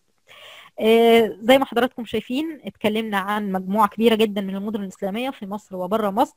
أقرينا الأحكام الفقهية العمرانية التي اتفقت عليها الجماعة الإسلام المجموعة الإسلامية الناس المسلمين اللي اتفقوا عليها. ولو تلاحظوا حضراتكم هنا أنا عملت تشيك ليست ما بين أبين كل مدينة حطيت معايير الاحتكام أو معايير الفقه العمراني وقارنتها في كل مدينة وشفنا كام مدينة حققت هذا المعيار وكم مدينة لم تحققه عشان نوصل في النهاية لنتيجة الحقيقة دايما لما بنقول إن إحنا بندرس المدينة الإسلامية يعني يعني دايما إيه ينزغ لينا كده إنه بناخد خز كده إنه إنتوا بتنظروا إليها نظرة عاطفية أو إنتوا بتقيموها تقييم عاطفي. لا ابدا بالعكس إحنا يعني الجدول ده أبسط مثال وحاجة شرحه نفسها. يعني بتقول إنه التاريخ المدينة الإسلامية رغم يعني متانة وثراء وأصالة الفقه العمراني اللي حكمها إلا أنه في معظم حالات المدن الإسلامية لم تتبع هذا هذا النسق الواضح الموزع للسلطات وفي معظم الأحيان كانت السلطة الفردية أو الميول الفردية لشخص الحاكم تطغى على السلطات المجتمعية كلها.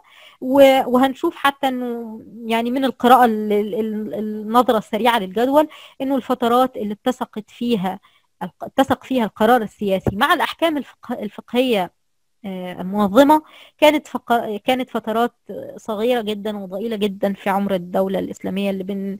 اللي بنسميها بقى الحكم الراشد أو الفترة الراشدة اللي حتى بنقدر نقول إن هي كانت بداية الحوكمة يعني أو أسست لفكرة الحوكمة الرشيدة فعلا.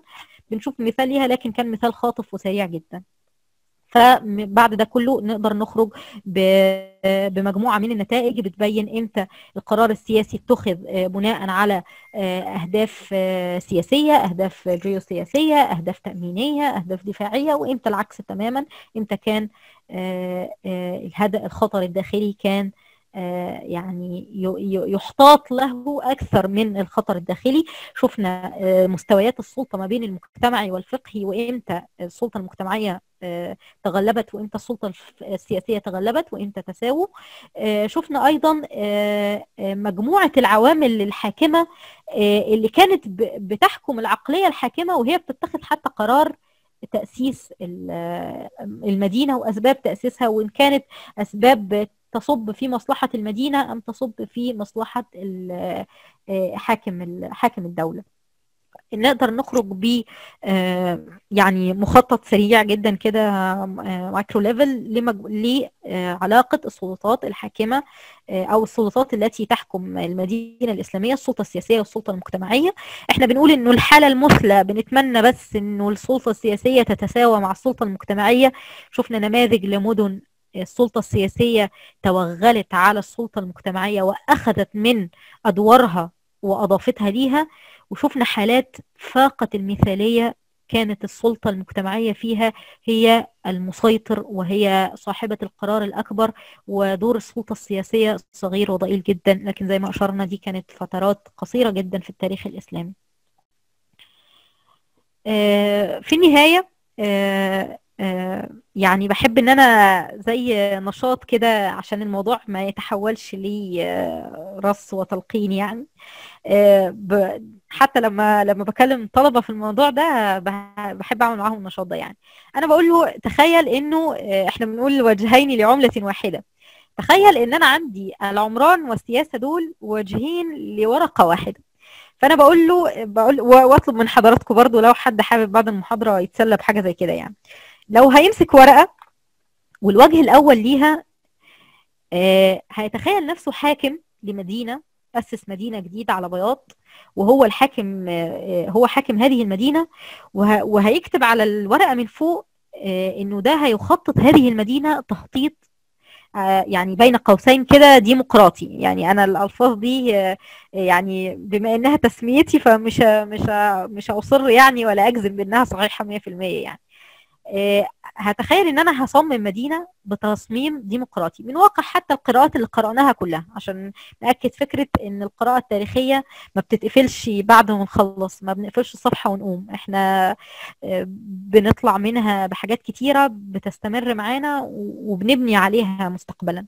فتخيل حضرتك إن أنت كحاكم هتبني هتخطط مدينة آه وفقا لمعايير الفقه العمراني الحاكم أنت آه عارف دورك كسلطة سياسية آه عارف وظيفتك اللي هي وظيفة تيسير أمور الناس لا أكثر من ذلك ولا أقل من ذلك وهتخطط مدينة على هذا الأساس. ثم اقلب وجه الصفحة الآخر واكتب من فوق عنوان التخطيط الاستبدادي ودي برضو يعني هحطها بين قوسين. وعايزة حضرتك برضو تتخيل على الوجه الآخر من ذات الورقة إنه حضرتك مخط إنه حضرتك حاكم المدينة لكن عندك آه هواجس أمنية كبيرة جدا عندك تخوفات من آه آه من سكان المدينة نفسهم. يعني أمور أمور حكمك مش مش مستقرة وثابتة. فعايزة حضرتك تتخيل هتخطط المدينة على أي أساس؟ وهل في الآخر الوجه ده هيبقى زي الوجه ده؟ لما خططت المدينة آه، تخطيط الف... زي ما لما أنا شفت عندي الفسطاط وشفت القاهرة هل تخطيط حضرتك على هذا الوجه هيكون نفس تخطيط الوجه الآخر؟ آه، يعني آه، يعني هكون متشوقة جدا إن أنا لو شفت الناس هت... هتفكر إزاي. أنا شخصيا لما بطلق لخيالي العنان يعني ب... الورقة دي بعمل فيها حاجة والورقة التانية بعمل فيها حاجة تانية خالص. أو نفس ال... نفس الورقة لكن لكل منهم وجه آخر. فهل العمران والسياسة آه، ينفع نشوفهم آه، وجهين لو- لورقة واحدة؟ ده سؤال يعني أو نشاط آه، فيما بعد.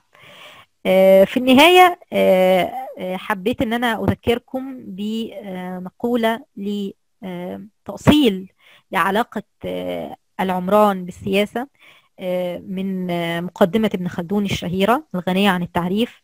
ابن خلدون كان آه، ليه آه، أطروحة عميقة جدا ومن أوائل الأطروحات المؤسسة لفكرة العمران البشري وعلاقته بالسلطة الحاكمة. وكان آه، يعني أنا حتى يعني بحثت في الموضوع ده وكان له نصيب كبير عندي آه، في رسالة الماجستير. كنت حابة إن أنا أربط ال- الجزء التحليلي بجزء فلسفي. فابن خلدون في مقدمته بيقول الدولة دون العمران لا تتصور والعمران دون الدولة والملك متعذر. هو بيقول إن العمران والسياسة لا يمكن أن يفترقا وأن عمران بدون سياسة آه، لا يكتب له الاستمرار وسياسة بدون عمران وعمران بدون سياسة لا يكتب له آه، الاستمرار. وبيقول أيضا آه، في إشارة أخرى لطبيعة السلطة الحاكمة الظلم مؤذن بخراب العمران. الظلم مؤذن بخراب العمران. آه، وكان عنده ربط حتى بقوة الدولة قوة الحكم السياسي وعلاقته بقوة وفت و و ومدى آه، قوة عمران المدينة. آه، وضرب حتى وحتى التاريخ على فكرة بيشهد يعني بصدق هذا هذه الأطروحة في كثير من المواقف. يعني كنا اتكلمنا عن المهدية وإنه الدولة الفاطمية سابتها وراحت للقاهرة. ال- ال- مقر ال- المهدية بعد ما كانت عاصمة وهجرت ولم تصبح عاصمة. كثير من القراءات ترى إن هي تن- يندثر فيها العمران وتكاد يعني تتحول إلى ما يشبه قرية بعد ما كانت مركز للسلطة الحاكمة. لما السلطة السياسية هجرتها وعشان ما حدش يقول إن إحنا آه، بنقرأ التاريخ فقط. آه، يعني إحنا بيفصلنا فترة زمنية آه كبيرة جدا جدا عن الفترات دي. لكن آه، لا أظن ابدا إنه لا لا النسق الحاكم ولا طريقة التعامل ولا ولا النسيج البشري الناتج عنها. لا أظن إن هو يفصله ذات القدر بل يق... بل يعني ال... الواحد بيستغرب من مدى التشابه اللي بنصل إليه في... في نقاط زي دي يعني. لك أن تتخيل مثلا وت... وتقيس ذلك على الوضع الحالي. آه، انظر إلى أي مدينة في بلدك آه، إن كانت عاصمة وعلاقتها ب... ب... بالمدن الأخرى اللي على أطراف آه، أو البعيدة عن مكان الحكم السياسي. لتجد إنه بطريقة أو بأخرى الأطروحة الخلدونية اللي من مئات السنين اللي بنهاجمها وبنقول عايزين نتخطى الفترة دي انطبقت على واقعك الحالي. فإحنا تفصلنا مسافة زمنية عن صحيح قرون عن تلك الفترات لكن آه، المسافة يعني العقلية والذهنية ليست بذاك القدر الواسع ابدا. إن شاء الله تكون آه، محاضرة بسيطة وتكون حضراتكم استفدتوا ويا رب ما أكونش عطلت وشكرا جزيلا لوقتكم وشكرا جزيلا لاستماعكم و... وأنا مش مش حاطة نفسي يعني في مقام إن أنا بلقي محاضرة والناس بتسمع خالص. ده مجرد نقاش أو يعني عصف ذهني بينا جميعا. أتمنى لو حد يعني يثريني ويصحح لي ويفيدني ويزود معلوماتي أكون شاكرة جدا وشاكرة جدا لوقتكم يعني. شكرا جزيلا. آه، دكتور علي اتفضل يا استاذنا آه، السلام عليكم ورحمة الله وبركاته. عليكم آه، السلام. شك- أستاذ. شكرا جزيلا يا دكتورة. آه، العفو العفو. شكرا جزيلا يا دكتورة مروة.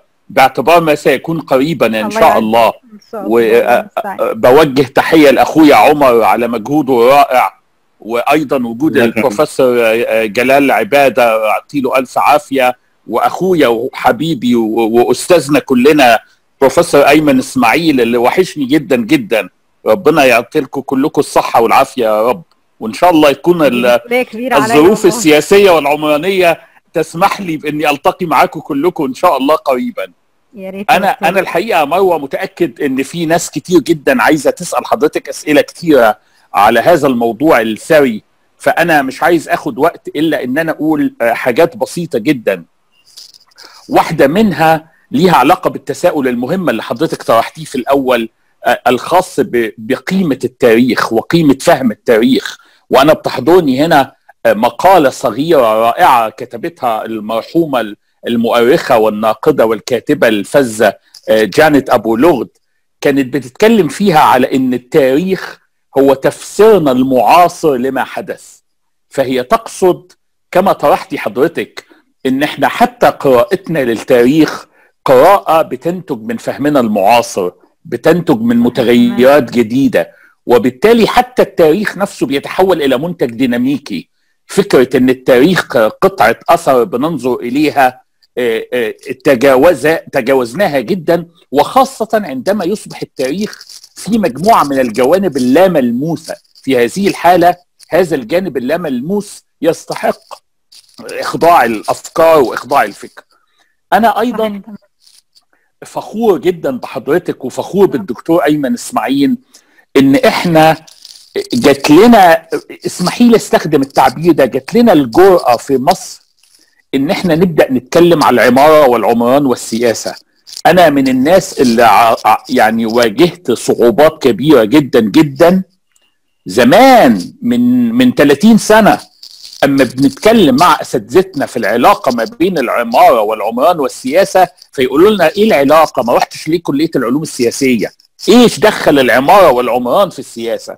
فأنا بعتقد إن جهد حضرتك مع بروفيسور أيمن هو إظهار لأن قضية العمارة والعمران وزي ما حضرتك طرحتي في كتابات ابن خلدون لا يمكن فصلها بأي حال من الأحوال عن السياق السياسي. يعني أي شخص يقول إن من من بناء محطة أتوبيس إلى بناء عاصمة جديدة لا يوجد آه، طرح سياسي وبعد سياسي لهذا العمل أنا أعتقد إن هو يبقى بيغفل آه، يعني إغفال شديد جدا لما معنى العمارة وقيمة العمارة. وقيمة. أيضا أو تأثيرها السياسي. أنا أيضا آه، آه، دكتورة مروة آه، سعيد جدا بتجنب حضرتك ما أسميتيه المدخل العاطفي. وأنا موافق جدا. إحنا لفترات كبيرة جدا جدا انغمسنا في ما يمكن أن أسميه أنا الطرح العاطفي للمدن لمدن المجتمعات الإسلامية. وخاصة في قضية تحليل العلاقة بين الحاكم والشعب. لم نكن مدركين أن التحليل العميق اللا عاطفي الأكثر عقلانية لنسيج مدن المجتمعات ي- يظهر نسق متكرر. حضرتك بينتي أمثلة عليه. أن الحاكم كان سعيد بالانفصال.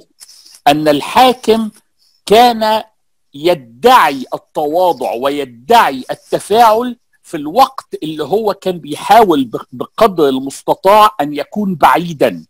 تتأملي حضرتك في أمثلة من أول تونس المهدي والمنصور العراق دمشق القاهرة. كيفية تحرك مقار الحكام وتبدلها وتحولها؟ ده في قضية مثيرة جدا يا دكتورة. تحول القصر إلى قلعة. يعني أصبح مقر الحاكم قلعة داخل المدينة.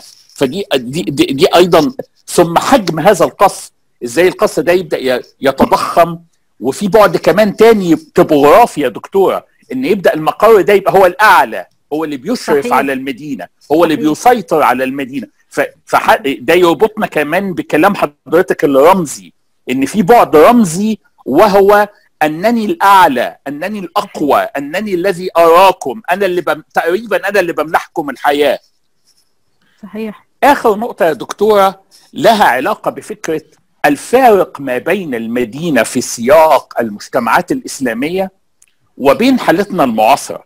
لأن إحنا في في الوقت التاريخي الأطر التاريخية اللي حضرتك طرحتيها معانا إحنا بنتكلم أكتر على ما يمكن أن نسميه المدن المستقلة. يعني أنا بطلع من بغداد بطلع للكوفة أنا بطلع من القاهرة بروح لدمشق.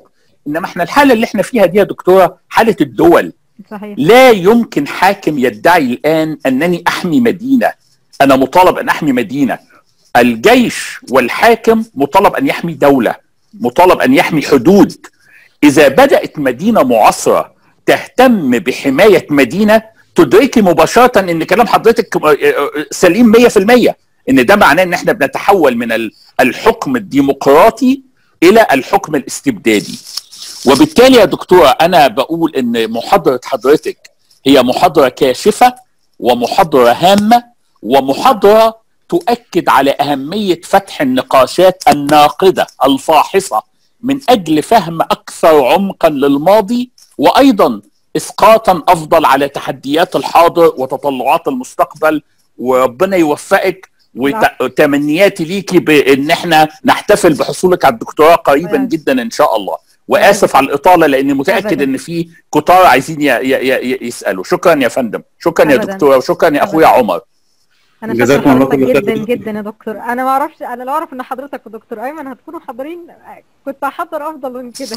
ده شرف ليا والله حضوركم والأستاذ الجليل و... ويعني آه، أشكرك على ثناء حضرتك. أنا زي ما قلت لحضرتك أنا يعني بطرح نقاش أو مجرد قراءات آه، يعني عمرها ما توصل لتعمق قراءات حضراتكم ويعني وسعيده إن حضرتك تفيدني وترد عليا و... و- وتثري وتفتح لي أفق جديدة و... وشكرا جزيلا. يعني أنا اللي شاكرة لوقت حضرتك جدا جدا جدا. وإحنا نتمنى نكون بس يعني تلامذة نجباء لحضراتكم جميعا يعني. شكرا جزيلا. آه، المهندسة مروة كانت كاتبة إهداء للدكتور علي عبد الرؤوف. في الرسالة بتاعتها. وفي طبعا ناس كتيرة كتبوا إهداء. كانت كاتبة إهداء و- للدكتور علي عبد الرؤوف أستاذ العمارة في جامعة آه، حمد. آه، وعلى بالغ كرمه. آه، ثانية واحدة. على بالغ كرمه ودعمه على المستوى الشخصي والأكاديمي وما أنداني به من مراجعة وأبحاث. كانت لها كبير الأثر. كانت لها كبير الأثر. آه، آه، على إسراء محتوى البحث مقدما نموذج حيا للمعلم الحق والأستاذ الكبير الذي لا ينحصر عطاؤه على طلبته المباشرين فحسب ودلوقتي معانا الاستاذنا الكبير اللي هو كان مشرف على الرسالة الأستاذ الدكتور أيمن محمد إسماعيل أستاذ ده تخطيط حقيقي. والتصميم البيئي قسم الهندسة المعمارية كلية الهندسة جامعة الفيوم. اتفضل يا أستاذ. أنا أنا أنا بقى ناطح والله بدون مبالغة وبدون مجاملة وأساتذتي عارفين ذلك يعني. أنا بمشي كده بين الناس يعني بفتخر باللي أنا تتلمست على إيديهم. وناطح بين الناس بقول أنا تلميذ الدكتور أيمن وتلميذ الدكتور علي وتلميذ الدكتور أمير. آه، يعني بحس كده إن أنا عندي ميزة فوق الناس إن أنا تتلمست على إيديهم. يعني وزي ما حضرتك قرأت إن أنا يعني صدق أو لا تصدق في كل هذا أنا عمري ما تشرفت بلقاء دكتور علي لكن كان بيعاملني معاملة الأستاذ والطالب تماما كما آه، زي أي طالب درسه طول عمره يعني. ودكتور أيمن ودكتور أمير يعني كلامي فيهم هم نفسهم بيقولوا لي خلاص بقى يعني. فأنا أنا الحمد لله ده رزق كبير من ربنا وكرم وفتح من ربنا إن أنا يشرفني حضور أساتذة زي دول و... ويدوني من وقتهم إنهم يسمعوا يعني لطالبه صغيرة لسه يا دوبك بتبدأ تفكر يعني. أنا مش عارفة أوفي ده شكرا يعني. إحنا شا- شاكرين قوي يا دكتورة مروة بحكم يعني ما سوف يكون قريبا إن شاء الله. وطبعا أنا مش أول مرة أستمع لمروة ولا أول مرة أتفرج على مجهودها ودايما بتدرسني بقدرتها الفائقة على الثناء والاثراء ونحن لسنا أهلا لذلك بل هي هي صاحبة الجهد الاصلي في ال- في الموضوع كله وهي التي كافحت وناضلت وأصرت على مواقفها وما زالت تصر على ذلك.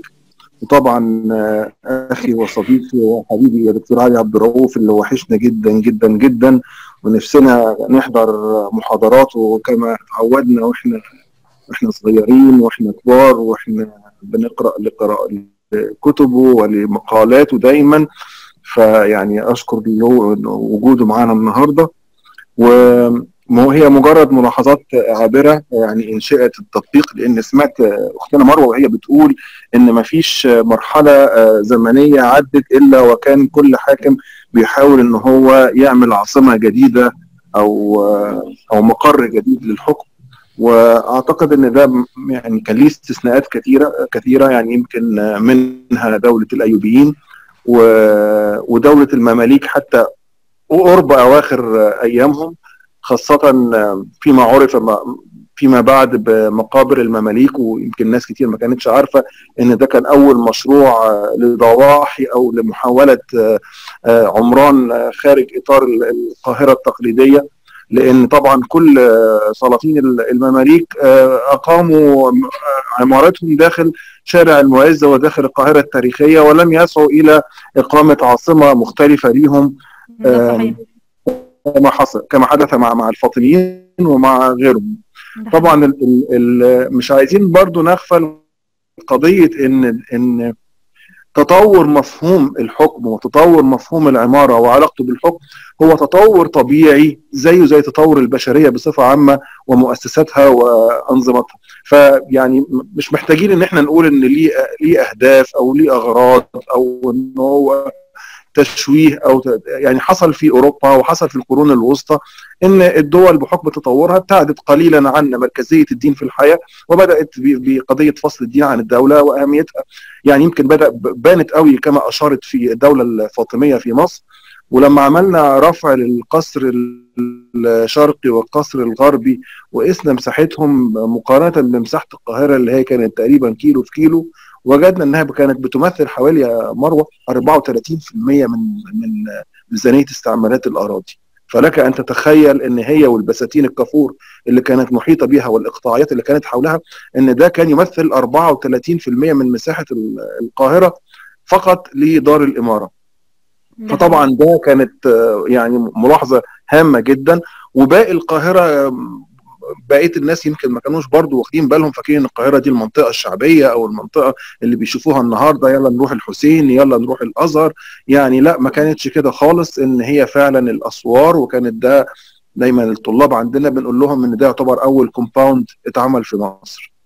فالفكرة القاهرة المصورة ده هي و, و ومركزية النظام السياسي فيها والملاحظ كمان المسافة البينية اللي بين جامع الأزهر وما بين القصر. فعلى عكس دور الإمارة اللي كانت في أيام سيدنا عمرو بن العاص وغيرهم اللي كان ملاصق كان مجرد يفتح باب بيته حتى في عهد ابن طولون.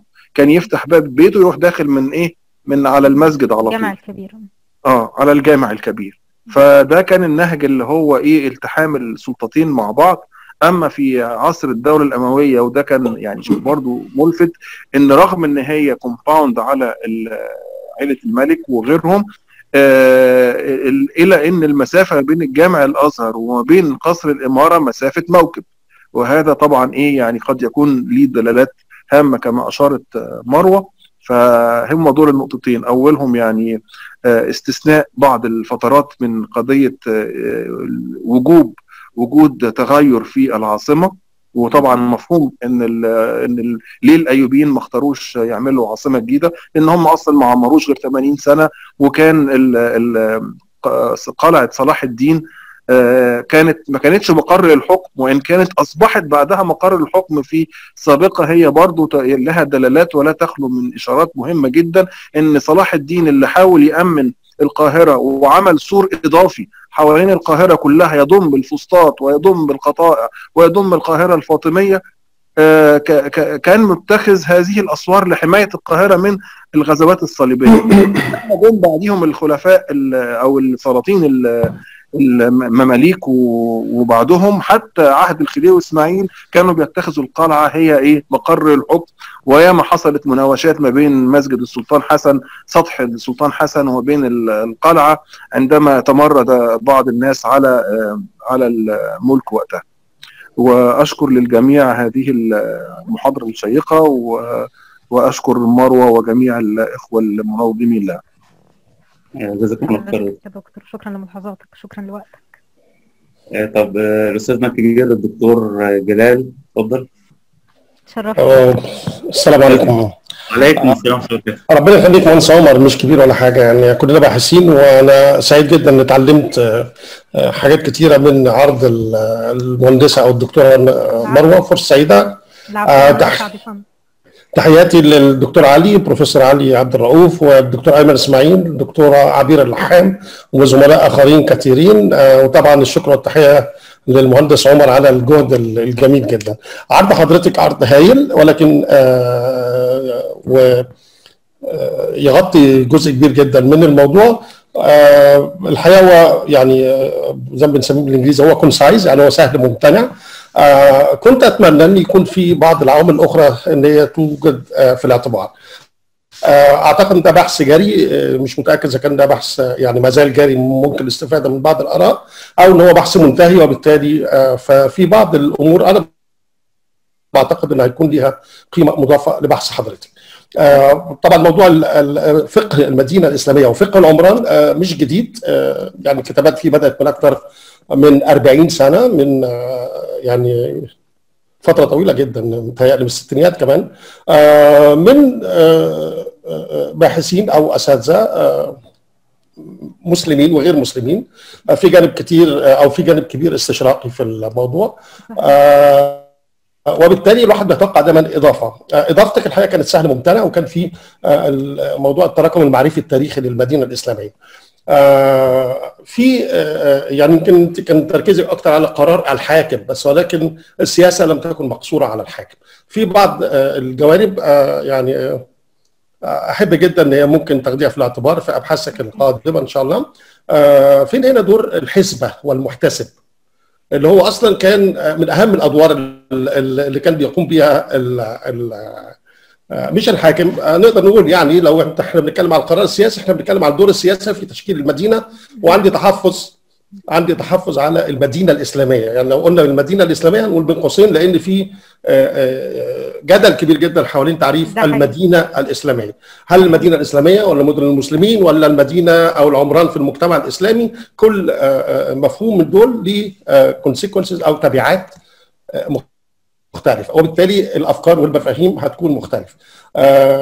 دور المحتسب مهم جدا لأن في الحسبة اللي هو ال- ال- القانون العمراني لو يعني لو آه، آه، يعني حددنا الموضوع أكتر. آه، وطبعا عندك مخطوطات ابن الرامي ومخطوطات لناس كتير اللي هي كانوا بتمثل وثائق للحزبة. آه، كتابات جمال الغيطاني رجع للمحتسب ودور المحتسب آه، آه، في إدارة المدينة في الوقت المملوكي على سبيل المثال.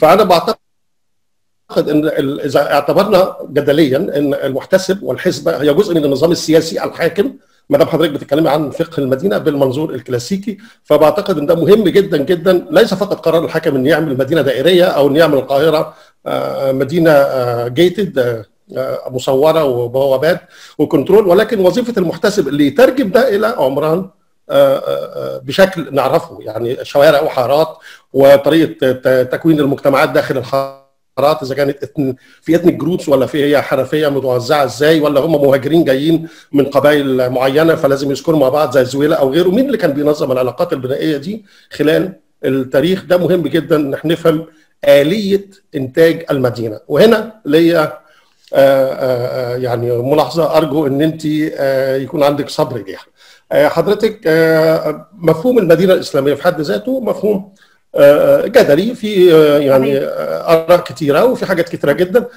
كان عرض حضرتك بالكامل عرض منحاز. منحاز بمعنى إن هو بيتبع ما نطلق عليه المفهوم الأصولي للمدينة.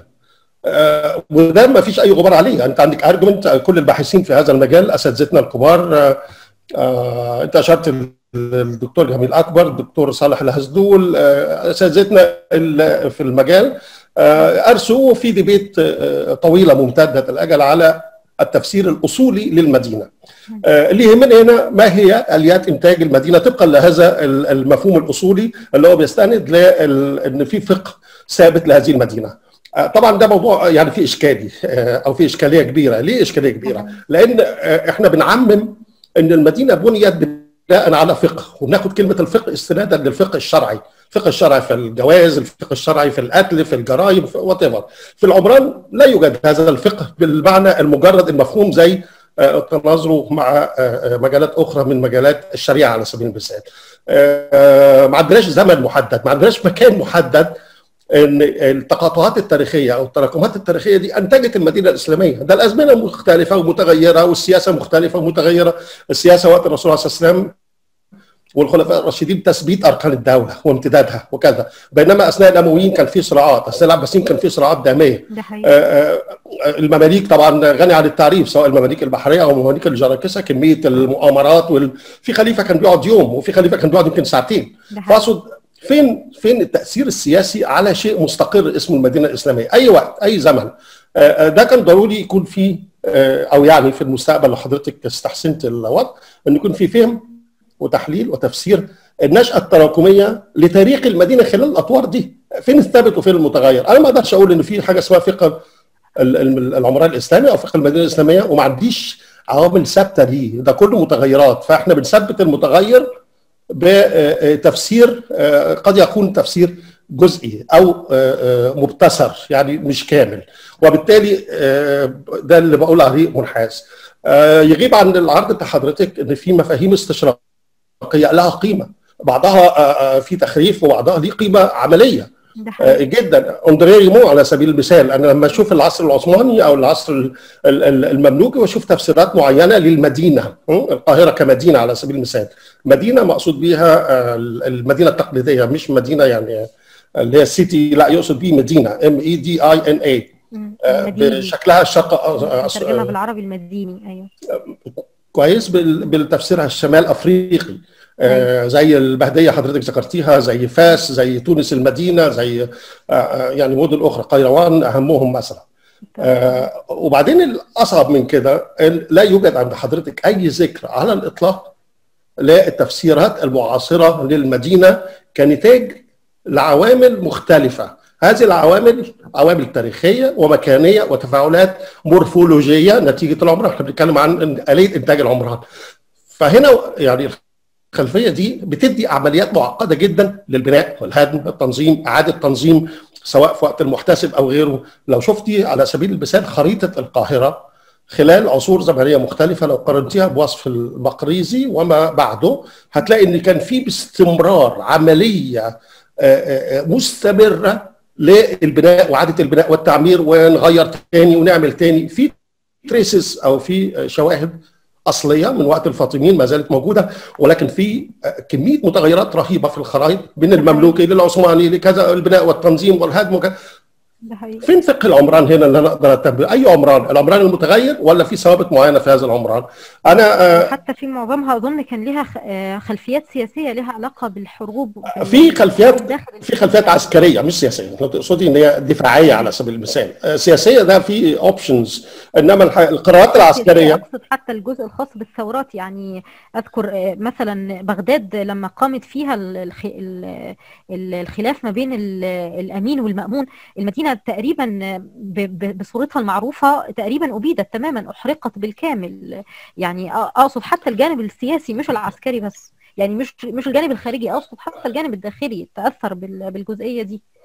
آه، عندنا في أنا أتمنى على حضرتك آه، آه، أنا هخلص آه، ملاحظتي يعني اتفضل. أتمنى على حضرتك إن تحطي آه، في الاعتبار أو تاخدي في الاعتبار بعد كده إن يعني في أبحاثك القادمة إن آه، آه، لا ننحاز إلى تفسير آه، واحد للتاريخ من منطق تعاطفي أو من منطق عاطفي. إحنا مسلمين وبالتالي التفسير الإسلامي أن هناك واحد المدينة الإسلامية غير صحيح لأن لم يؤكد 1000% في 15 أطروحة مضادة أو معاكسة لفكرة المدينة الإسلامية بالشكل المثالي العاطفي اللي حضرتك مثلا آه، وناس تانيين كتير باحثين كتير قبل حضرتك عملوه. آه، التفسير الاستشراقي للمدينة كنموذج نمطي بروتوتايب إن هي مدينة نشأت على الطرق وعبارة عن سوق وليس قصر ومجموعة من الحاجات المتناثره وعفويا أو عشوائيا امتدت كمدينة. ده في آه، حاجات كتير جدا آه، آه، خطأ وفولس لازم يأتي ذكرها ويأتي نقدها. وفي في نفس الوقت إيجابيات كتيرة جدا لبعض المستشرقين. ده برضو بيدي نوع من أنواع التأكيد على التعريف اللي حضرتك بتقوليه وفي النهاية المفاهيم المعاصرة بالأدوات المعاصرة التي لم تكن متاحا من قبل. زي مثلا أعمال كتيرة جدا لفيليب بانيري في تفسير المدن الإسلامية آه، من خلال الأنماط المورفولوجية. آه، في بعض المآخذ الناس بتقول لا دي حاجات علمانية أو حاجات دي منفصلة بتفصل الدولة عن عن الدين أو ال- الدين الحاكم لكذا. آه، الأمور دي كلها للأسف مش موضوعية هي شخصية أكتر من كده. يمكن ما توافقيش على كلامي كله ولكن أنا أرجو إن حضرتك يعني تعيدي النظر في أبحاثك القادمة إنك ما تنحازيش لمفهوم معين. دي من ناحية. من ناحية ثانية ملاحظة بسيطة جدا إن يكون في بعض التدقيق في المعلومات التاريخية بالذات. المعلومات التاريخيه مش ملكنا إحنا بننقل معرفة لناس تانيين. قد يكون آه، آه، يعني الخلفية التاريخية بالنسبة لهم مش قوية. آه، على سبيل المثال حضرتك قلت إن كل المدن اللي جت في القاهرة حرقت اللي قبلها وده مش صحيح.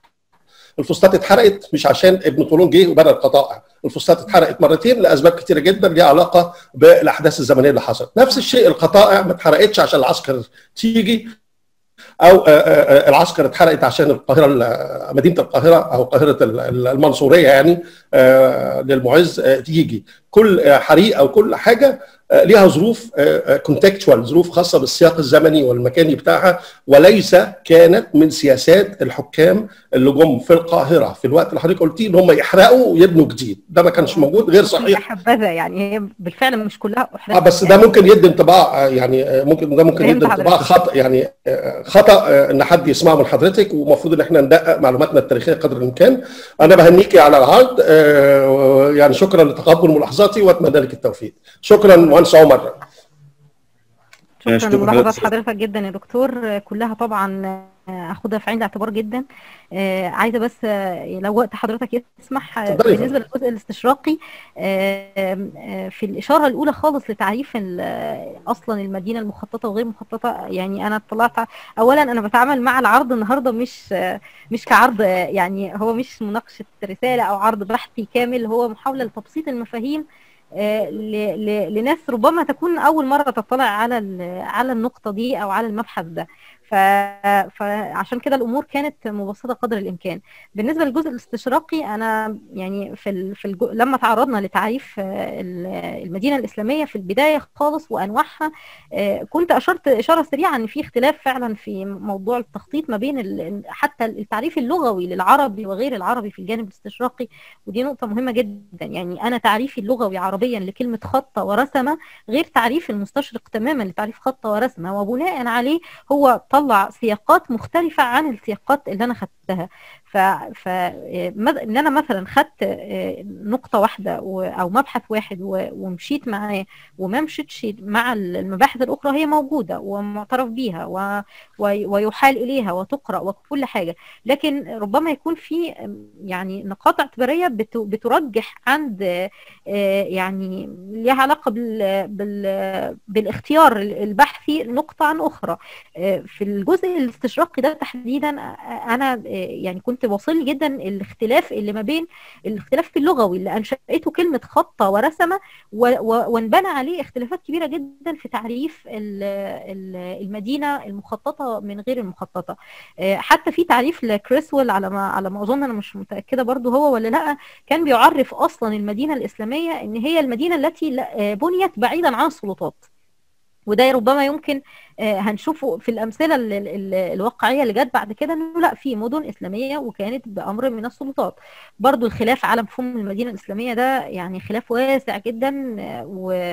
ويعني برضو قد تقام عليه محاضرات مستقلة لوحده يعني بس أنا زي ما حضرتك قلت أنا خدت الفكرة المبدئية خالص آه، اللي تتناسب مع عرض آه، مش مش مش بحثي بق... أو يعني مش مش في سياق أكاديمي بقدر ما هو في سياق آه، تعريفي. يعني أنا أنا أنا شايفة ناس ممكن يكونوا مش عمارة أصلا حاضرين شايفة ناس عمارة بس ال- النقطة المبحث ده ممكن يكون ما سمعش عنه خالص.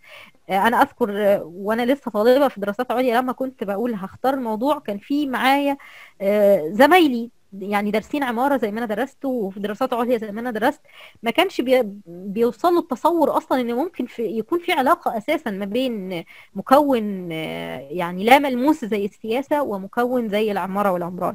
فكنت دايما أول ما ما أقول حتى موضوع البحث بتاعي كنت بقابل باستفسارات كتيرة جدا هو أصلا في علاقة ما بين السياسة والعمارة والعمران. فأنا كان هدفي هنا الأول أقول آه في علاقة وشفناها عمرانيا كذا كذا. طبعا الوقت كمان ما كانش هيسع إن أنا أتكلم في الجزء المعماري كمان. لكن أنا يعني بادئه آه، زي ما حضرتك قلت يعني من آه، خطوة أولى تماما.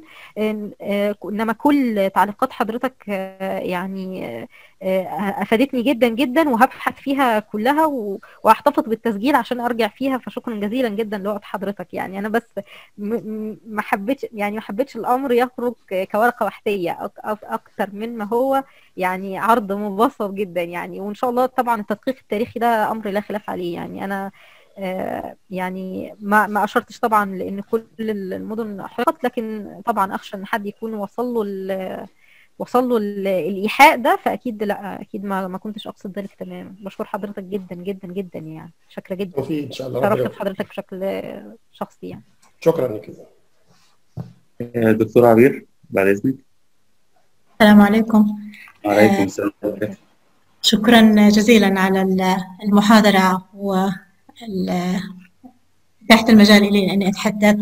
مهندسة مروة شكرا على المحاضرة. وطبعا بعد اللي حكوا الزملاء دكتور جلال ودكتور آه، علي ودكتور أيمن يعني بجوز ما ضل إشي كثير الواحد يحكي فيه. بس صراحة أنا عندي سؤال آه، يعني زي ما ذكر الدكتور جلال أنه الموضوع طرح بالنسبة لفقه العمران وحتى ربط العمران بال بالقرارات السياسية اللي هو موضوع بحثك هو موضوع ما هو جديد أبدا. يعني من الثمانينات من القرن الماضي والموضوع مطروح.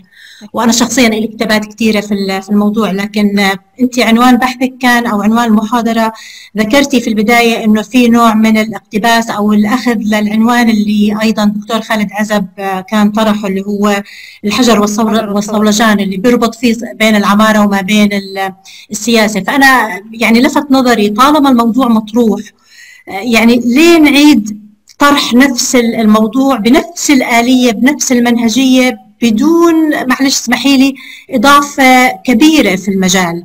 يعني أنا ما قدرت أشوف وين سؤال البحث باعتبار أنت قاعدة عم تعملي بحث للدكتوراه فسؤال البحث بالنسبة لي كان شوي آه، مبهم. يعني هل فقط نحاول نثبت أنه العمارة مرتبطة بالسياسة؟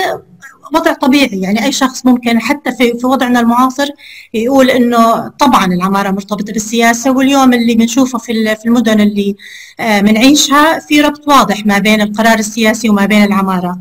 آه، ال- النقطة الثانية اللي هي يعني أنا شعرت معلش لو تسمحي لي شعرت إنه في نوع من السرد التاريخي لحد ما اللي يحتاج إلى تعمق شوي أكثر من مجرد آه، كبر المسجد ولا كبرت دار الإمارة فهذا مؤشر رم- رمزي لعلاقة أيهما أقوى القوى السياسية فقط أم القوى ال- أم القوى المجتمعية. آه، بجوز نحتاج ندخل فيها بعمق أكثر يعني لما ذكرتي حطيتي في واحدة من السلايدات إنه في نوعين من السلطة واقتبستيهم من كتاب دكتور جميل اللي هو السلطة السياسية والسلطة المجتمعية. وحجمتي إلى حد ما السلطة السياسية والسلطة المجتمعية ك framework لحتى تقيسي منه مدى آه، آه، تراكب أو مدى مين دخل على مين أكثر حجمتيهم بمجموعة نقاط.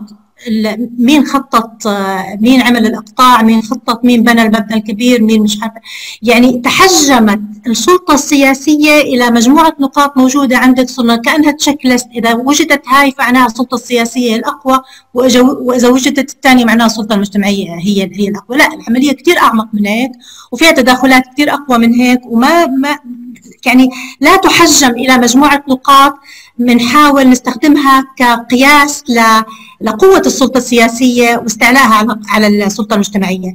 في فترات من الزمن كلاهما كان موجود لكن السكوب أو نطاق عمل القوى السياسية والقوى المجتمعية مختلفة. القوى السياسية كانت تشتغل في منطقة والقوى المجتمعية موجودة في آن واحد وبتشتغل على منطقة ثانية. اللي اللي اللي بدل على- على ذلك وذكره أيضا دكتور جلال اللي هو أنت توقفتي في طرحك عند ال- العصر الأيوبي. مم. تلا ذلك العصر المملوكي والعصر العثماني منظومة السياسة فيهم صارت مختلفة تماما فلا يمكن إسقاط اللي ذكرتيه لحد الأيوبي على ما تلا ذلك. يعني- أنا توقفت عند الايوب زي ما حضرتك قلتي بالظبط إن هم بالتالي بالتالي صار صار البحث لا يمكن تعميم ما, ما تم التوصل له يعني أنت كأنك قاعدة عم تطلعي بنتائج ممكن تعميمها على ما يسمى بالمدينة الإسلامية. وهذا وهذا بحد ذاته في نوع من الخطر على المعرفة في المدينة الإسلامية. فلا بد هون من التعامل مع كل كل من هدول الفترات أو الداينستيز اللي كانت موجودة بخصوصيتها وبخصوصية النمط السياسي اللي كان موجود فيها. وإن شاء الله يا رب الله يوفقك هيك ونسمع دكتورة مروة إن شاء الله قريبا يعني ونقرأ كتاباتك. بالتوفيق إن شاء الله. شكرا للجميع. شرفت بحضرتك ويكون ليا أكيد يعني أكيد هيسريني إن أنا أطلع على كتابات حضرتك في الموضوع شرف كبير ليا. أنا عايزة بس أوضح نقطة واحدة بس هو ده مش عرض دكتوراه ولا عرض بحثي ولا ولا ورقة بحثية. أنا أنا مدركة جدا ال يعني القدر أو المقام لكل مقام مقال يعني. أنا زي ما حضرتك قلتي أنا فعلا توقفت عند الدولة الأيوبية لأن ما بعد الأيوبية المماليك والعثمانيين بالتأكيد يفرض ليهم حديث مستقل تماما ويبدأ من حيث انتهيت. يعني ممكن في محاضرة تانية خالص هنا أنا متفقه على مدة لا تتجاوز ساعة وحاولت إن أنا فعلا أنهيت عند الساعة أو بعدها بعشر دقائق بالكثير. فعلا أنا أؤيد حضرتك إن لما أجي أتكلم عن المماليك وال والعثمانيين هبدأ تكاد تكون محاضرة جديدة تماما وأبدأ من حيث انتهيت عند الدولة المملوكية. أنا ما عنديش سؤال بحثي لأن أنا مش بطرح ورقة بحثية خالص ابدا. النقطة الثانية اللي حضرتك اشرتي أشرت إليها هل طرح السؤال وجود العلاقة في حد ذاته هل هو ده سؤال ولا لأ؟ الحقيقة يعني أقدر أقول بشكل كبير إنه يصلح إن هو الاستقراء والاستدلال على إجابة السؤال ده. أعتقد إن هي في حد ذاتها حتى لو كان بدأ الكلام فيه من الثمانينات أو كده زي ما حضرتك لسه بتقولي إحنا كل يوم بنطلع بنتيجة مختلفة. يعني أنا قراءتي للمدينة الإسلامية طلعت منها يعني خلاصات طبقتها على ما بعد الكورونا بشكل شخصي يعني حتى بدون بدون كتابة بحثية يعني. فزي ما حضرتك بتقولي بالعكس كون إن الموضوع يعني له الصبغة التاريخية أو إنه حتى بدأ الكتابة فيه أنا كتاب جميل عبد القادر الاكبر أظن إنه من الثمانينات أو حاجة زي كده. أظن برضو لا ينضب الحديث فيه فعلا يعني. وزي ما ما الأساتذة طرحوا الرؤى المختلفة تبني وجهات النظر المختلفة مع طرح الجميع. يعني أنا مش عارفة حاسة إن ده ممكن يكون يعني يعني أنا خدت من تعليقات حضراتكم يعني مقدمة هبني عليها حاجات أخرى جديدة. فحاسة إن بالعكس ده دليل إن الموضوع لا ينضب. يعني ممكن نستمر الحديث فيه. ما دمنا بنطبق منه على واقع حالي يعني. أنا بشكر حضرتك جدا وبشكر وقتك و...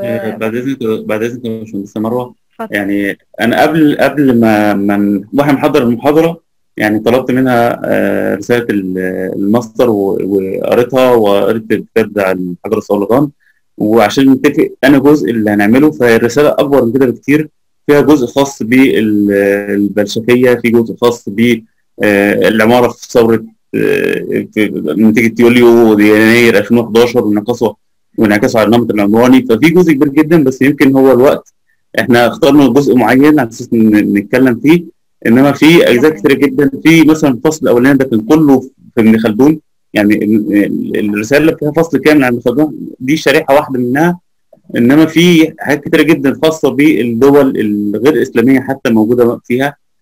فهي حتى في جزء المدينة الإسلامية لسه في جزء معماري بس كان لا يستحيل الوقت يسمح إن أنا بعد العمران كله ندخل في العمارة. يعني هي برضه يعني يستلزم وهي رساله ما شاء الله يعني هي مكملة لحد يعني ثورة 25 يناير ومناقشة حاجات كتير جدا فيها والنموذج الاشتراكي والنموذج الرأسمالي والحاجات في مدن كمان ضرب بها المثال زي النظام الفاشي في إيطاليا مثلا. النظام الألماني فالرساله إن شاء الله قويه جدا فيها حاجات كتير جدا. يمكن إن شاء الله نحاول مع الباشمهندسه مرة إن شاء الله تبقى الدكتورة ساعتها ناخد أجزاء ثانية بحيث إن تبقى الموضوع أنا شايف معاك ناس كتير جدا رغم إن الدكتورة مرة كانت قلقانة بس يعني القاعه اتملت أكتر من اللي تستحمله ما شاء الله. فجزيل شكر حضرتك وهنفتح دلوقتي الأسئلة للجميع لو حضرتك للفرصة الكريمة دي يا باشمهندس وشكرا تحمس حضرتك للموضوع. وشكرا لوقت الأساتذة الكبار اللي حضروا وتعليقاتهم كلها على راسي من فوق. أنا بس والله بأكد لهم إن أنا مش بقدم ورقة بحثية ابدا ابدا. يعني أنا بطرح طرح بتعمد فيه التبسيط وال- وتقديم بدون بدون يعني ما أخل بالحقيقة التاريخية. أكيد طبعا الموازنة بينهم شيء أساسي ومطلوب يعني. فأنا شاكرة ليهم جدا وجميع تعليقاتهم أكيد هتبني لي وهتفتح لي أفق كتيرة كتيرة جدا قدام يعني. شاكره ليهم جدا يعني أنا هستاذن حضرتك حاجتين. في أول حاجة نفتح الأسئلة للناس كلها. تاني حاجة هناخد صورة جماعية كده مع حضرتك ومع الساده الافاضل بإذن الله. تمام يعني جوه كل اللي عايز يفتح الكاميرا وهناخد بس صورة تذكارية مع الناس كلها. الله يكرمك لو في أي حد عنده أي سؤال المايك مفتوح للجميع.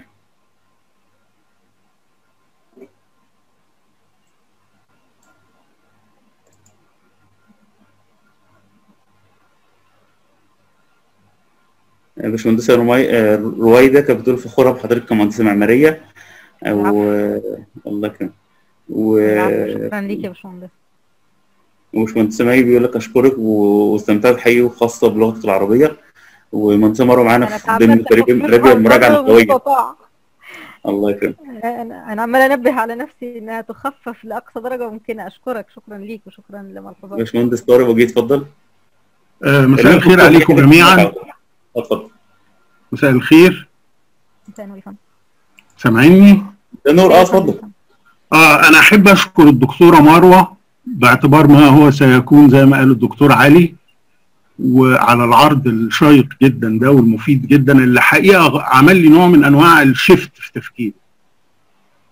بس زي ما الدكتورة مروة قالت في كلامها لكل مقام مقال وأنا عارف إن إحنا معظمنا معماريين يعني مش متخصصين في التاريخ هدفنا آه آه هو يعني أو اللي جذبنا إن إحنا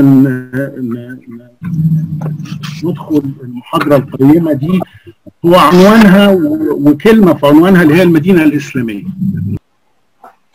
آه، إحنا دايما بن- بنتأثر بكلمة المدينة الإسلامية ودايما بننظر لها بنوع من أنواع إن هي مدينة فيها نوع من. أنواع المعرفة.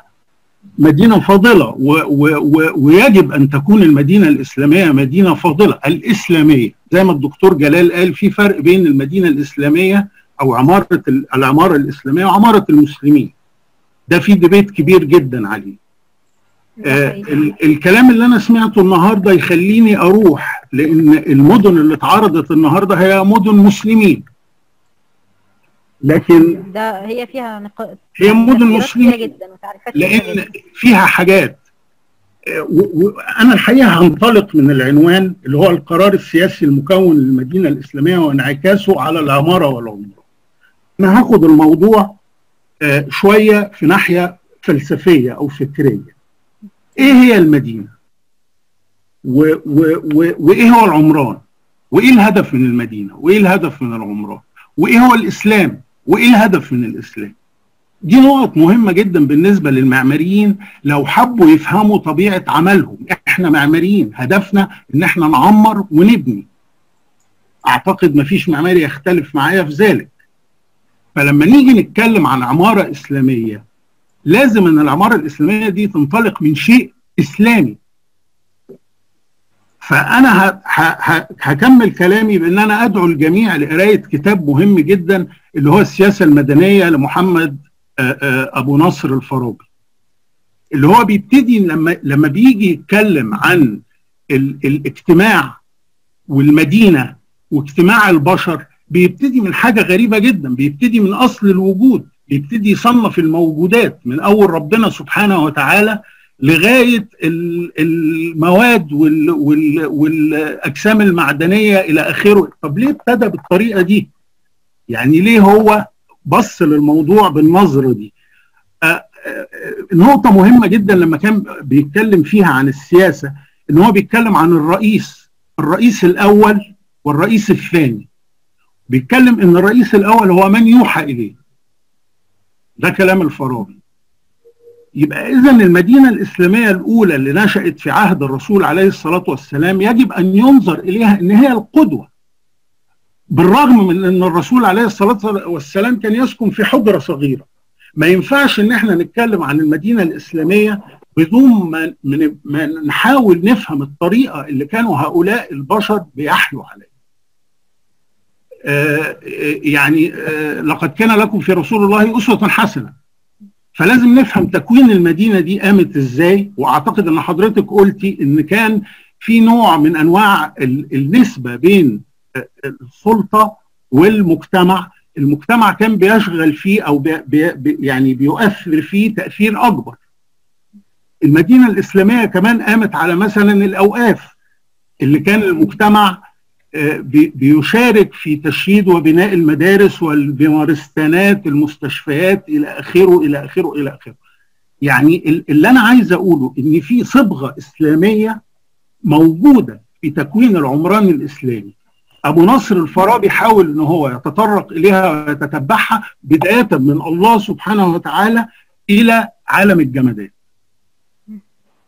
يبقى إحنا هدفنا إن إحنا كمعماريين مسلمين إن إحنا نفهم القاعدة الفلسفية دي وننطلق من القاعدة الفلسفية دي لفهم الكون وفهم دورنا في في الكون وبالتالي فهم حقيقة المدينة. فلا بد أن يكون هناك تأسيس فلسفي لفكرة المدينة فكرة الإسلام فكرة العمران فكرة العمارة إلى آخره. ده اللي أنا حبيت إن أنا ده حقيقي فانا متفقة مع حضرتك طبعا.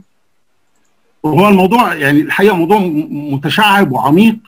بس يعني خلاصة كلامي إن لابد أن يكون هناك القليل من الفلسفة بيشغل المعماريين خصوصا الفلسفة الإسلامية اللي هي أضافت للفلسفة إضافة ما بعدها إضافة الحقيقة.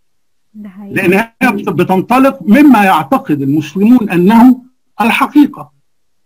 يعني المسلمون بيعتقد إن إن تلك هي الحقيقة. اختلفنا بقى في يعني درجة فهمنا زي ما برضو الفارابي بيقول لأن هو بيصنف الناس وبيقول إن الناس إن الرئيس الأول هو يوحى إليه وبعدين الرئيس الثاني اللي هو رئيس ومرؤوس وبعدين تتدرج الناس في المعارف. بس شكرا. تمام أنا متفقة مع حضرتك جدا. جزاكم الله كل خير. آه، في أي حد عنده أي أسئلة؟ في حد عايز أي أسئلة قبل ما نختم؟ طب استاذن حضرتك لو حد حابب إن هو ننتقل صورة تذكاريه بس مع ال- ال- الدكاترة نفتح بس الكاميرا. أنا أنا مفتوحة عندي الكاميرا. آه تمام تمام. بقيه الناس اللي فاضل نعمل share screen أنا بس هوقف ال عشان بس إيه؟ مش